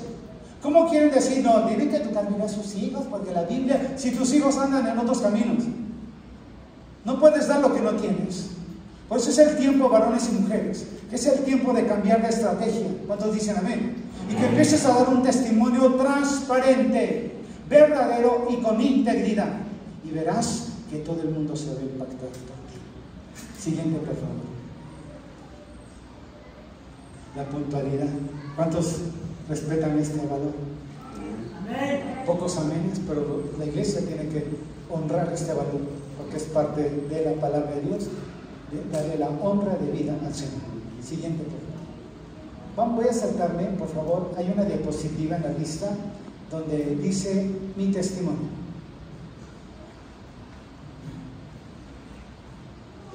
¿Cuánto le da la gloria a Dios? Hoy te comparto esto, hermanos, porque yo creo que es el tiempo de hacer cambios ya en nuestra vida.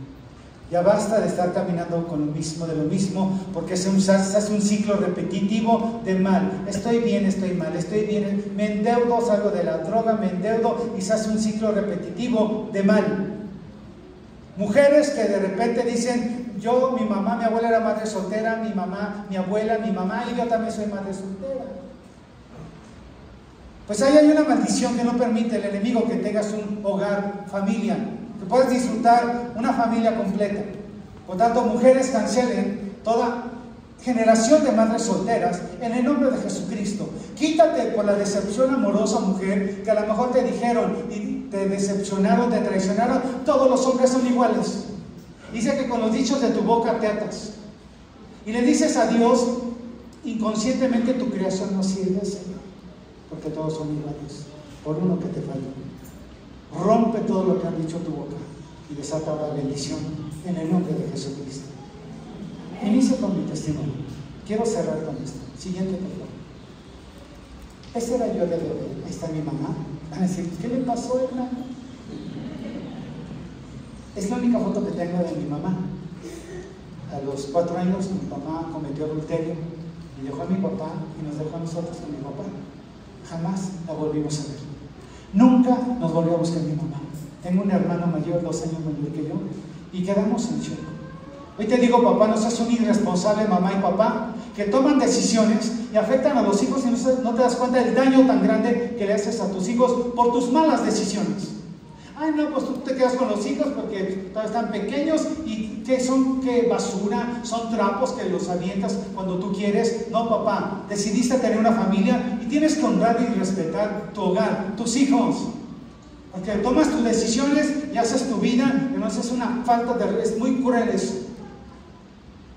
Siguiente, por favor. A esta edad, a los 11 años, yo entré a la secundaria a esa edad, fue cuando me secuestraron, me metieron en una secta satánica. Siguiente, por favor. Todo mi cuerpo, lo tengo todo cicatrizado. Tengo todos mis brazos, Al siguiente, por favor. Mis piernas, mi pecho, mi espalda. Tengo muy cicatrizado mi cuerpo. Ahorita les diré por qué. Siguiente, por favor. A mí me salía sangre de los oídos, de los ojos, vomitaba mucha sangre. Mucha gente, Tomás, que necesitan ver para creer, a mí se me hace que se droga neftalí y agarra un objeto y se está hirviendo el sol. Tuvieron que poner cámaras. Por eso mi testimonio se ha tomado como uno de los casos más serios y más investigado. Por eso me dio una apertura a todos los medios de comunicación. No tan solo me invitó TV Azteca, me invitó López Dóriga, me invitó eh, Cristina en Univisión, me invitó Telemundo, me invitó Canal Europa de España. Hicieron un cortometraje de mi historia, Canal Infinito. Todos los medios de comunicación me abrieron las puertas. ¿Por qué, hermanos? Por toda la investigación que hay detrás de mí. Pero hoy te digo, donde quiera que me lleve el Señor, es para exaltar su nombre y decir que el único que puede liberar, el único que puede transformar vida se llama Cristo Jesús. Siguiente, por favor. Esto que van a ver es real. ¿sí? Lo tomó el pastor que me ayudó. Se escucha increíble. César sangraba de los ojos,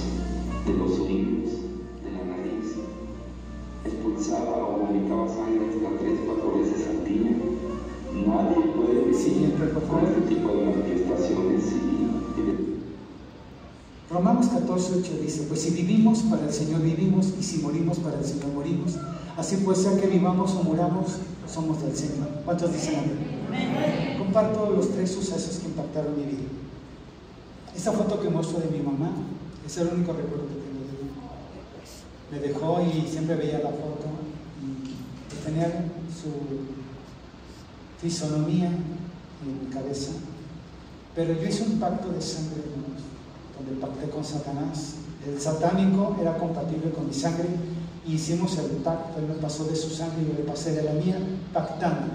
Un pacto de sangre únicamente se rompe con la vida de uno o con la de un familiar. Pero yo no grabé la magnitud de lo que había hecho.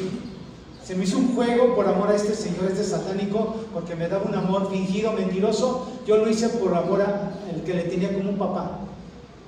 Y me escapo a los 14 años. ¿Por qué? Porque me ma- marcaron mi hombro derecho con un 6 al rojo vivo, como un animal.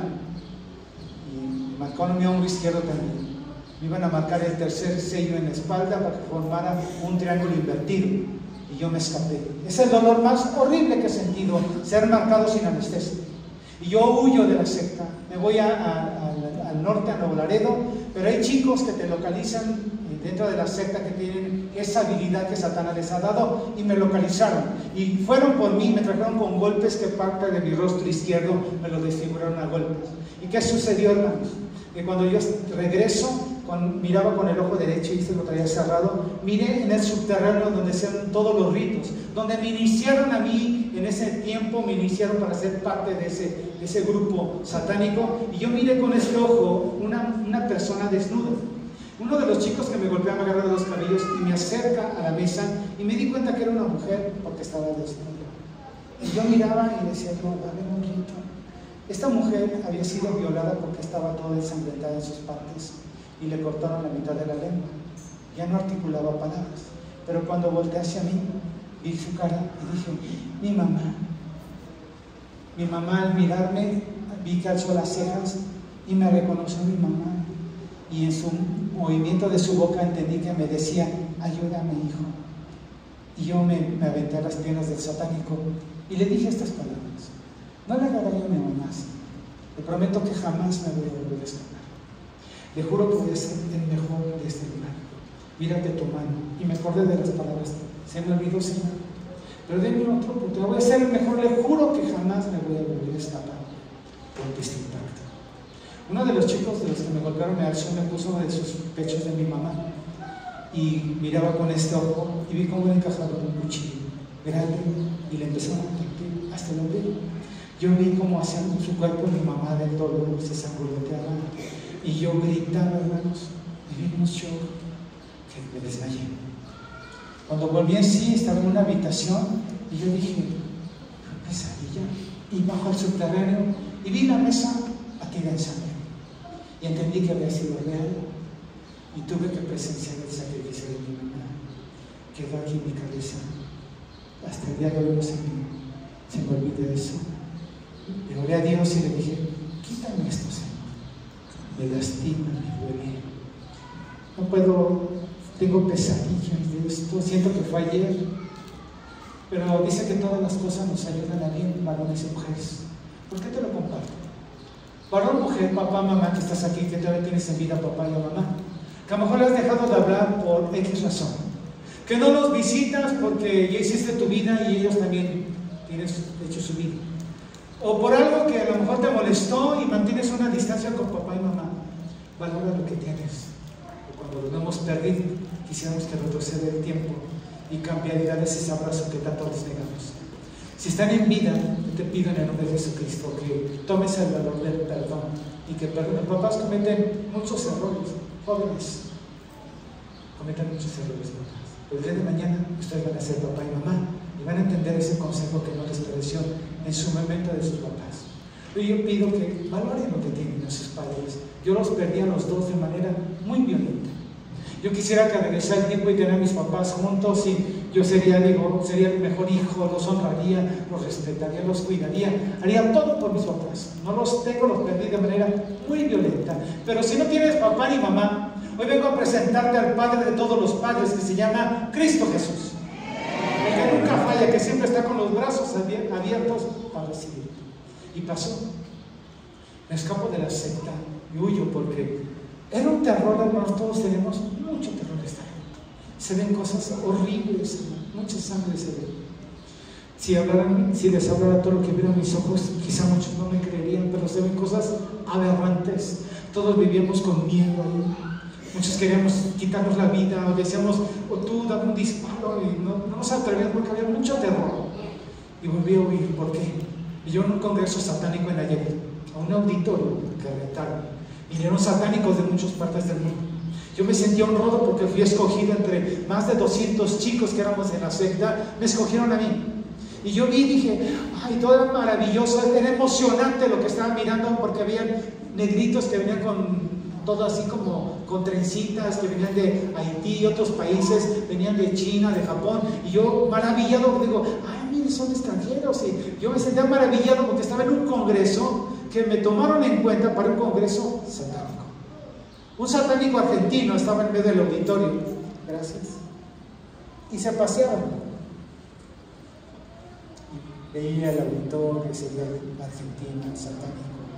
Y de repente los servidores se hicieron con sus manos. Está lleno, ya no hay lugar. Y se para en medio argentino satánico y dice, ¿cuántos creen que Satanás es poderoso? Y todo el auditorio, ¡guau!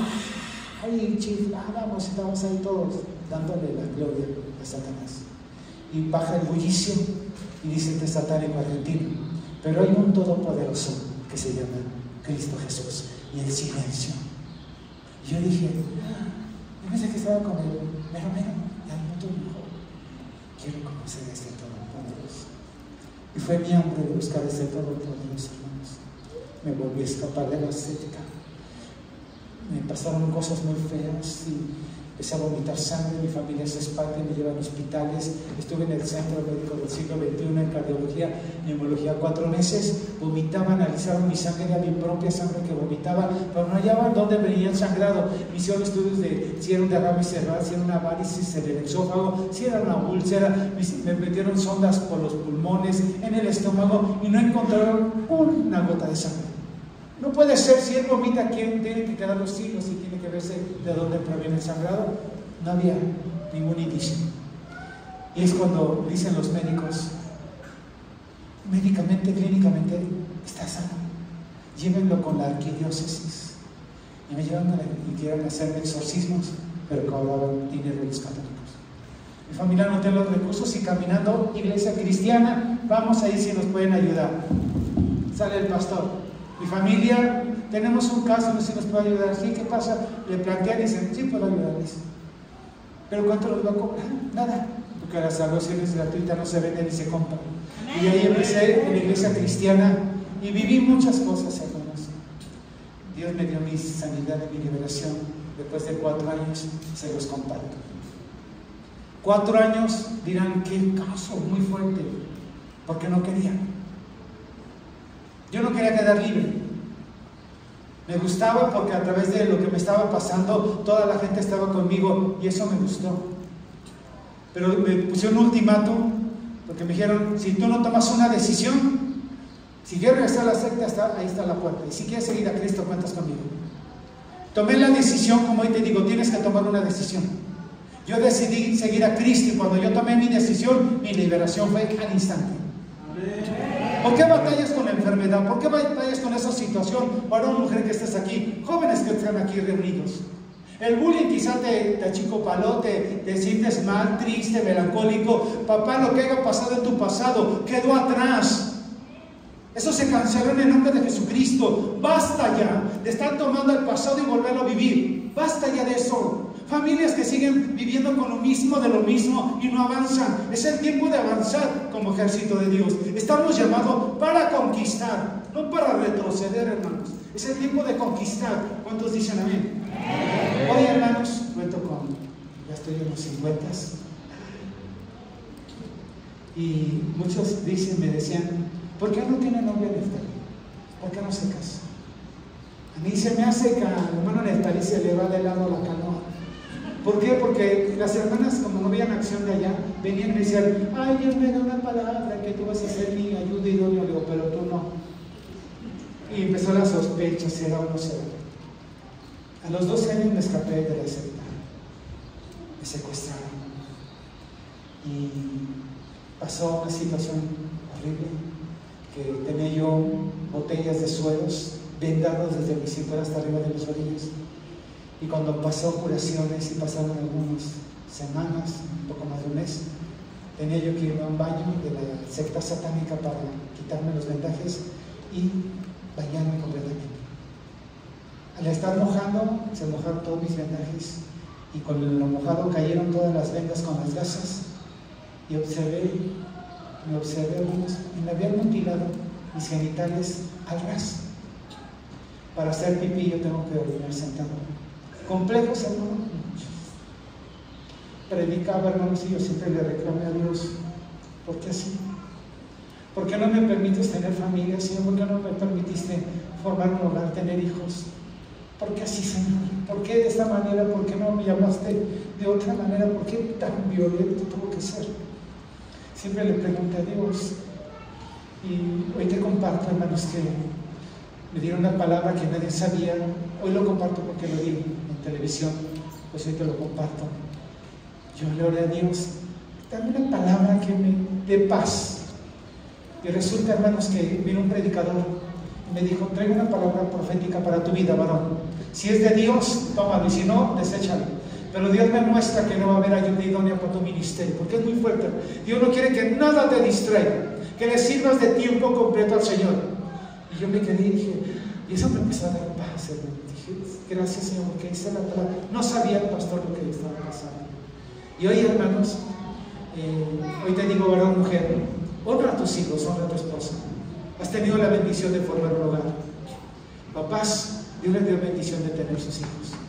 Honralos respétalos, guíanos, instruyenos. Jóvenes, el día de mañana vas a tener la bendición de ser papá y mamá y formar una familia, cosa que a mí se me dio. Pero hoy, hermanos, me he enamorado del Señor de una manera sobrenatural. Vivo cada día enamorado de mi Dios. Cuando viajo, tengo la libertad de viajar donde me lleve, sin necesidad de llegar a casa. ¿Y por qué llegaste a esa hora? ¿Por qué tan tarde? No tengo ese problema puedo viajar, cambiarme de residencia donde quiera. Porque hermanos, Dios así decidió. Dios es un Dios de propósitos. No lo entendemos, pero cuando empezamos a servir a Dios, entendemos el propósito de Dios. Fui violado por más de 20, cuando tenía 20 años, fui secuestrado. Fui infectado con el VIH. Y yo estuve en fase terminal. Quería suicidarme porque dije, ahora esto. Y no entendía por qué. Dije, ¿por qué mal y mal y mal? Hoy te busco, Señor. Hoy te sigo, hoy testifico. Y ahora esto, me secuestraron. Pero hoy te di la buena noticia. Igual para todos los que pasan una enfermedad, quizá terminal. Yo oré a Dios y le pedí una oportunidad. No le dije, sáname y te sigo. Porque a veces condicionamos a Dios. Y yo le dije, Señor, yo te quiero servir, aunque esté enfermo, pero dame fuerzas para servirte. Fui a Conacina, hicieron todo un estudio de Western Block, del estudio de Belisa, y hermanos, empecé a recuperar salió negativo, hice otro blog, salió negativo, aumenté de peso, ya usaba pañales, bajé como 40 kilos, Dios me restaura y hermanos, el milagro, me dice el médico, ¿qué hiciste? Quítate la camisa. Estaba lleno de moretones que se hacen como manchas oscuras. Y me volteó y me dice, esos números que tienes ahí, digo, esa es otra historia. ¿Qué hiciste? Digo, ¿por qué? Tu sangre está limpia. Digo, ah, se consulté a un buen doctor. Me dice, pues recomiéndamelo para todos mis pacientes. Digo, ese consultar doctor de doctores, que es Jesucristo, este varón, este médico de conocido, conoció de Dios. Hoy es un ministro de alabanza, toca el bajo en la iglesia del Centro de Fe de Tacuba, allí en México, hermanos. ¿Y quién hace eso, hermanos? Dios, el doctor de doctores, que así como me sanó, Dios puede derramar sanidad en tu vida. ¿Cuántos dicen amén? Hoy, hermanos, sirvo a Dios, cumplo en este mes 36 años de estar sirviendo a Dios. Y 7 años estuve en el satanismo, tengo 36 años sirviendo a Dios. Pero hoy quiero pedirte que te pongas sobre tus pies, por favor.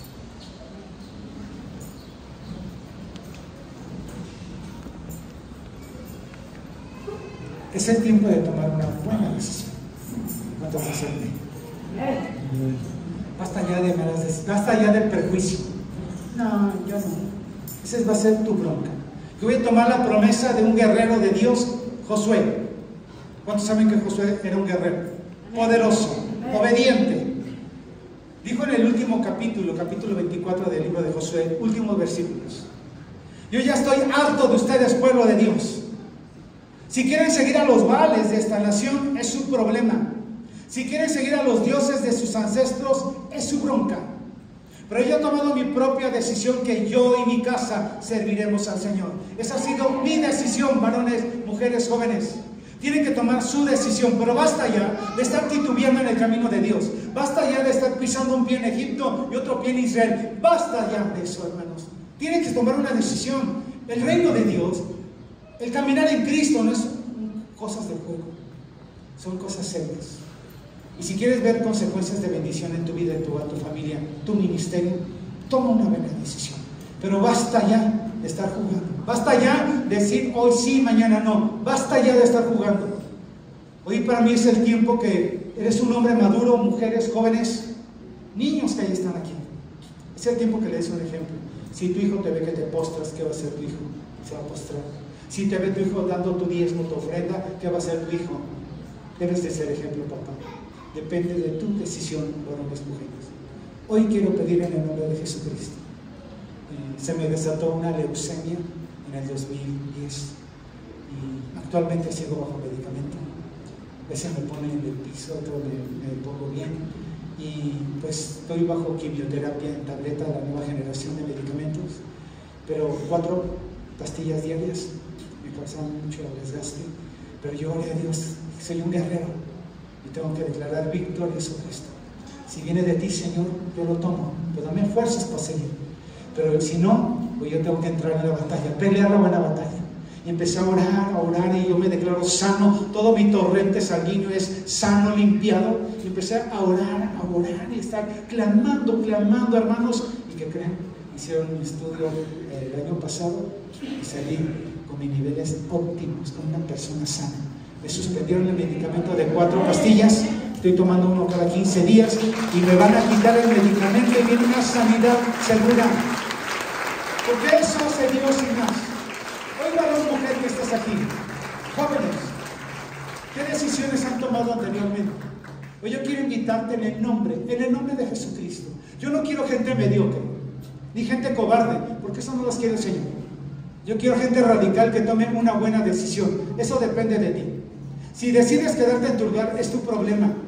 Tú vas a rendir cuentas con Dios. Pero yo tomé una buena decisión y yo te impulso a que tomes una buena decisión. Que haga un cambio radical en tu vida, en tu ministerio, en tu hogar, en tu familia, en tu matrimonio, con tus hijos. Porque basta ya de estar viviendo siempre lo mismo, hermanos, quejándonos de las circunstancias. Toma una buena decisión en nombre de Jesucristo. Yo siempre les digo, Muchos tienen a Dios en su boca. Déjalo bajar a tu corazón. Es una cuarta. Y verá lo que Dios puede hacer en tu vida. Ha hecho en mi vida proezas. Y le sigue haciendo, hermanos. Hoy estoy aquí y le doy gracias a Dios, a los pastores por la invitación, pero yo sé que fue Dios a través de ellos porque el tiempo de Dios llegó para ti. Quiero invitar a una mujer jóvenes que vengas aquí al frente y me permitas hacer una oración. Si estás enfermo, tengo por seguro que Dios va a derramar sanidad, si es parte de la voluntad de Dios. Lo que estés atravesando en tu hogar, lo que el conflicto que has estado viviendo, yo te, te aseguro que si tú tomas hoy una buena decisión, cosas grandes pasarán en tu vida. Pero quiero gente valiente, gente radical. Yo te invito a que vengas, por favor, varón, mujer. No tienes que pensar. Se tiene que pensar hacer el pecado, la maldad. Para mí, no consigo que la gente tiene que tomar una decisión y lo esté pensando. Dios te llama, hermanos, para hacer un cambio radical en tu vida. Depende de tu decisión. ¿Habrá alguien más? De todo ese remanente, nada más están estos valientes. Y tú, varón, mujer, ¿por qué no tomas el ejemplo? Dios te ha puesto como cabeza y tomas, no tomas decisiones sabias. Luego no vengas a chingar y a quejarte de cómo te va. Toma una buena decisión, joven, varón. Jóvenes toman quizá decisiones banales que no han traído bendición a tu, a tu vida. Hoy te estoy invitando a que tomes una buena decisión. ¿Hay alguien más que quiera venir, por favor? Hay lugar aquí en el, en Yo te invito a que vengas, por favor. Rompe toda cadena, todo yugo, en el nombre de Jesucristo. Venme aquí, Señor. Yo quiero que haga un cambio radical en mi vida, en mi forma, en mi actitud, en mi forma de pensar. Que yo quiero que cambie aún mi ministerio, que sea, que florezca, que vea frutos en lo que estoy haciendo. Si no estás sirviendo, di Señor, yo quiero ser un servidor. Yo quiero prepararme para la buena batalla. Basta ya de declarar malas batallas en nuestro caminar. Hoy es el tiempo de decir, hoy quiero pelear buenas batallas y quiero declarar cada día, cada instante, cada momento que soy más que vencedor en Cristo. Eso depende de tu decisión. Si hay alguien más que quiera venir, por favor, vamos a en el nombre de Jesucristo.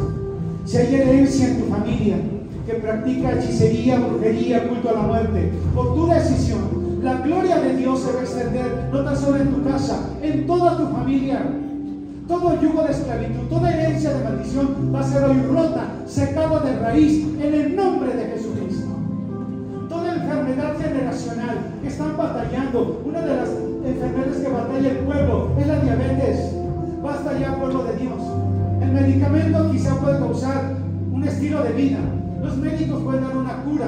Pero vengo a presentarte al doctor que no da la cura, da una sanidad total en el nombre de Jesucristo. Si tú lo crees, va a suceder. Porque Dios quiere que tú le creas para que sucedan las cosas.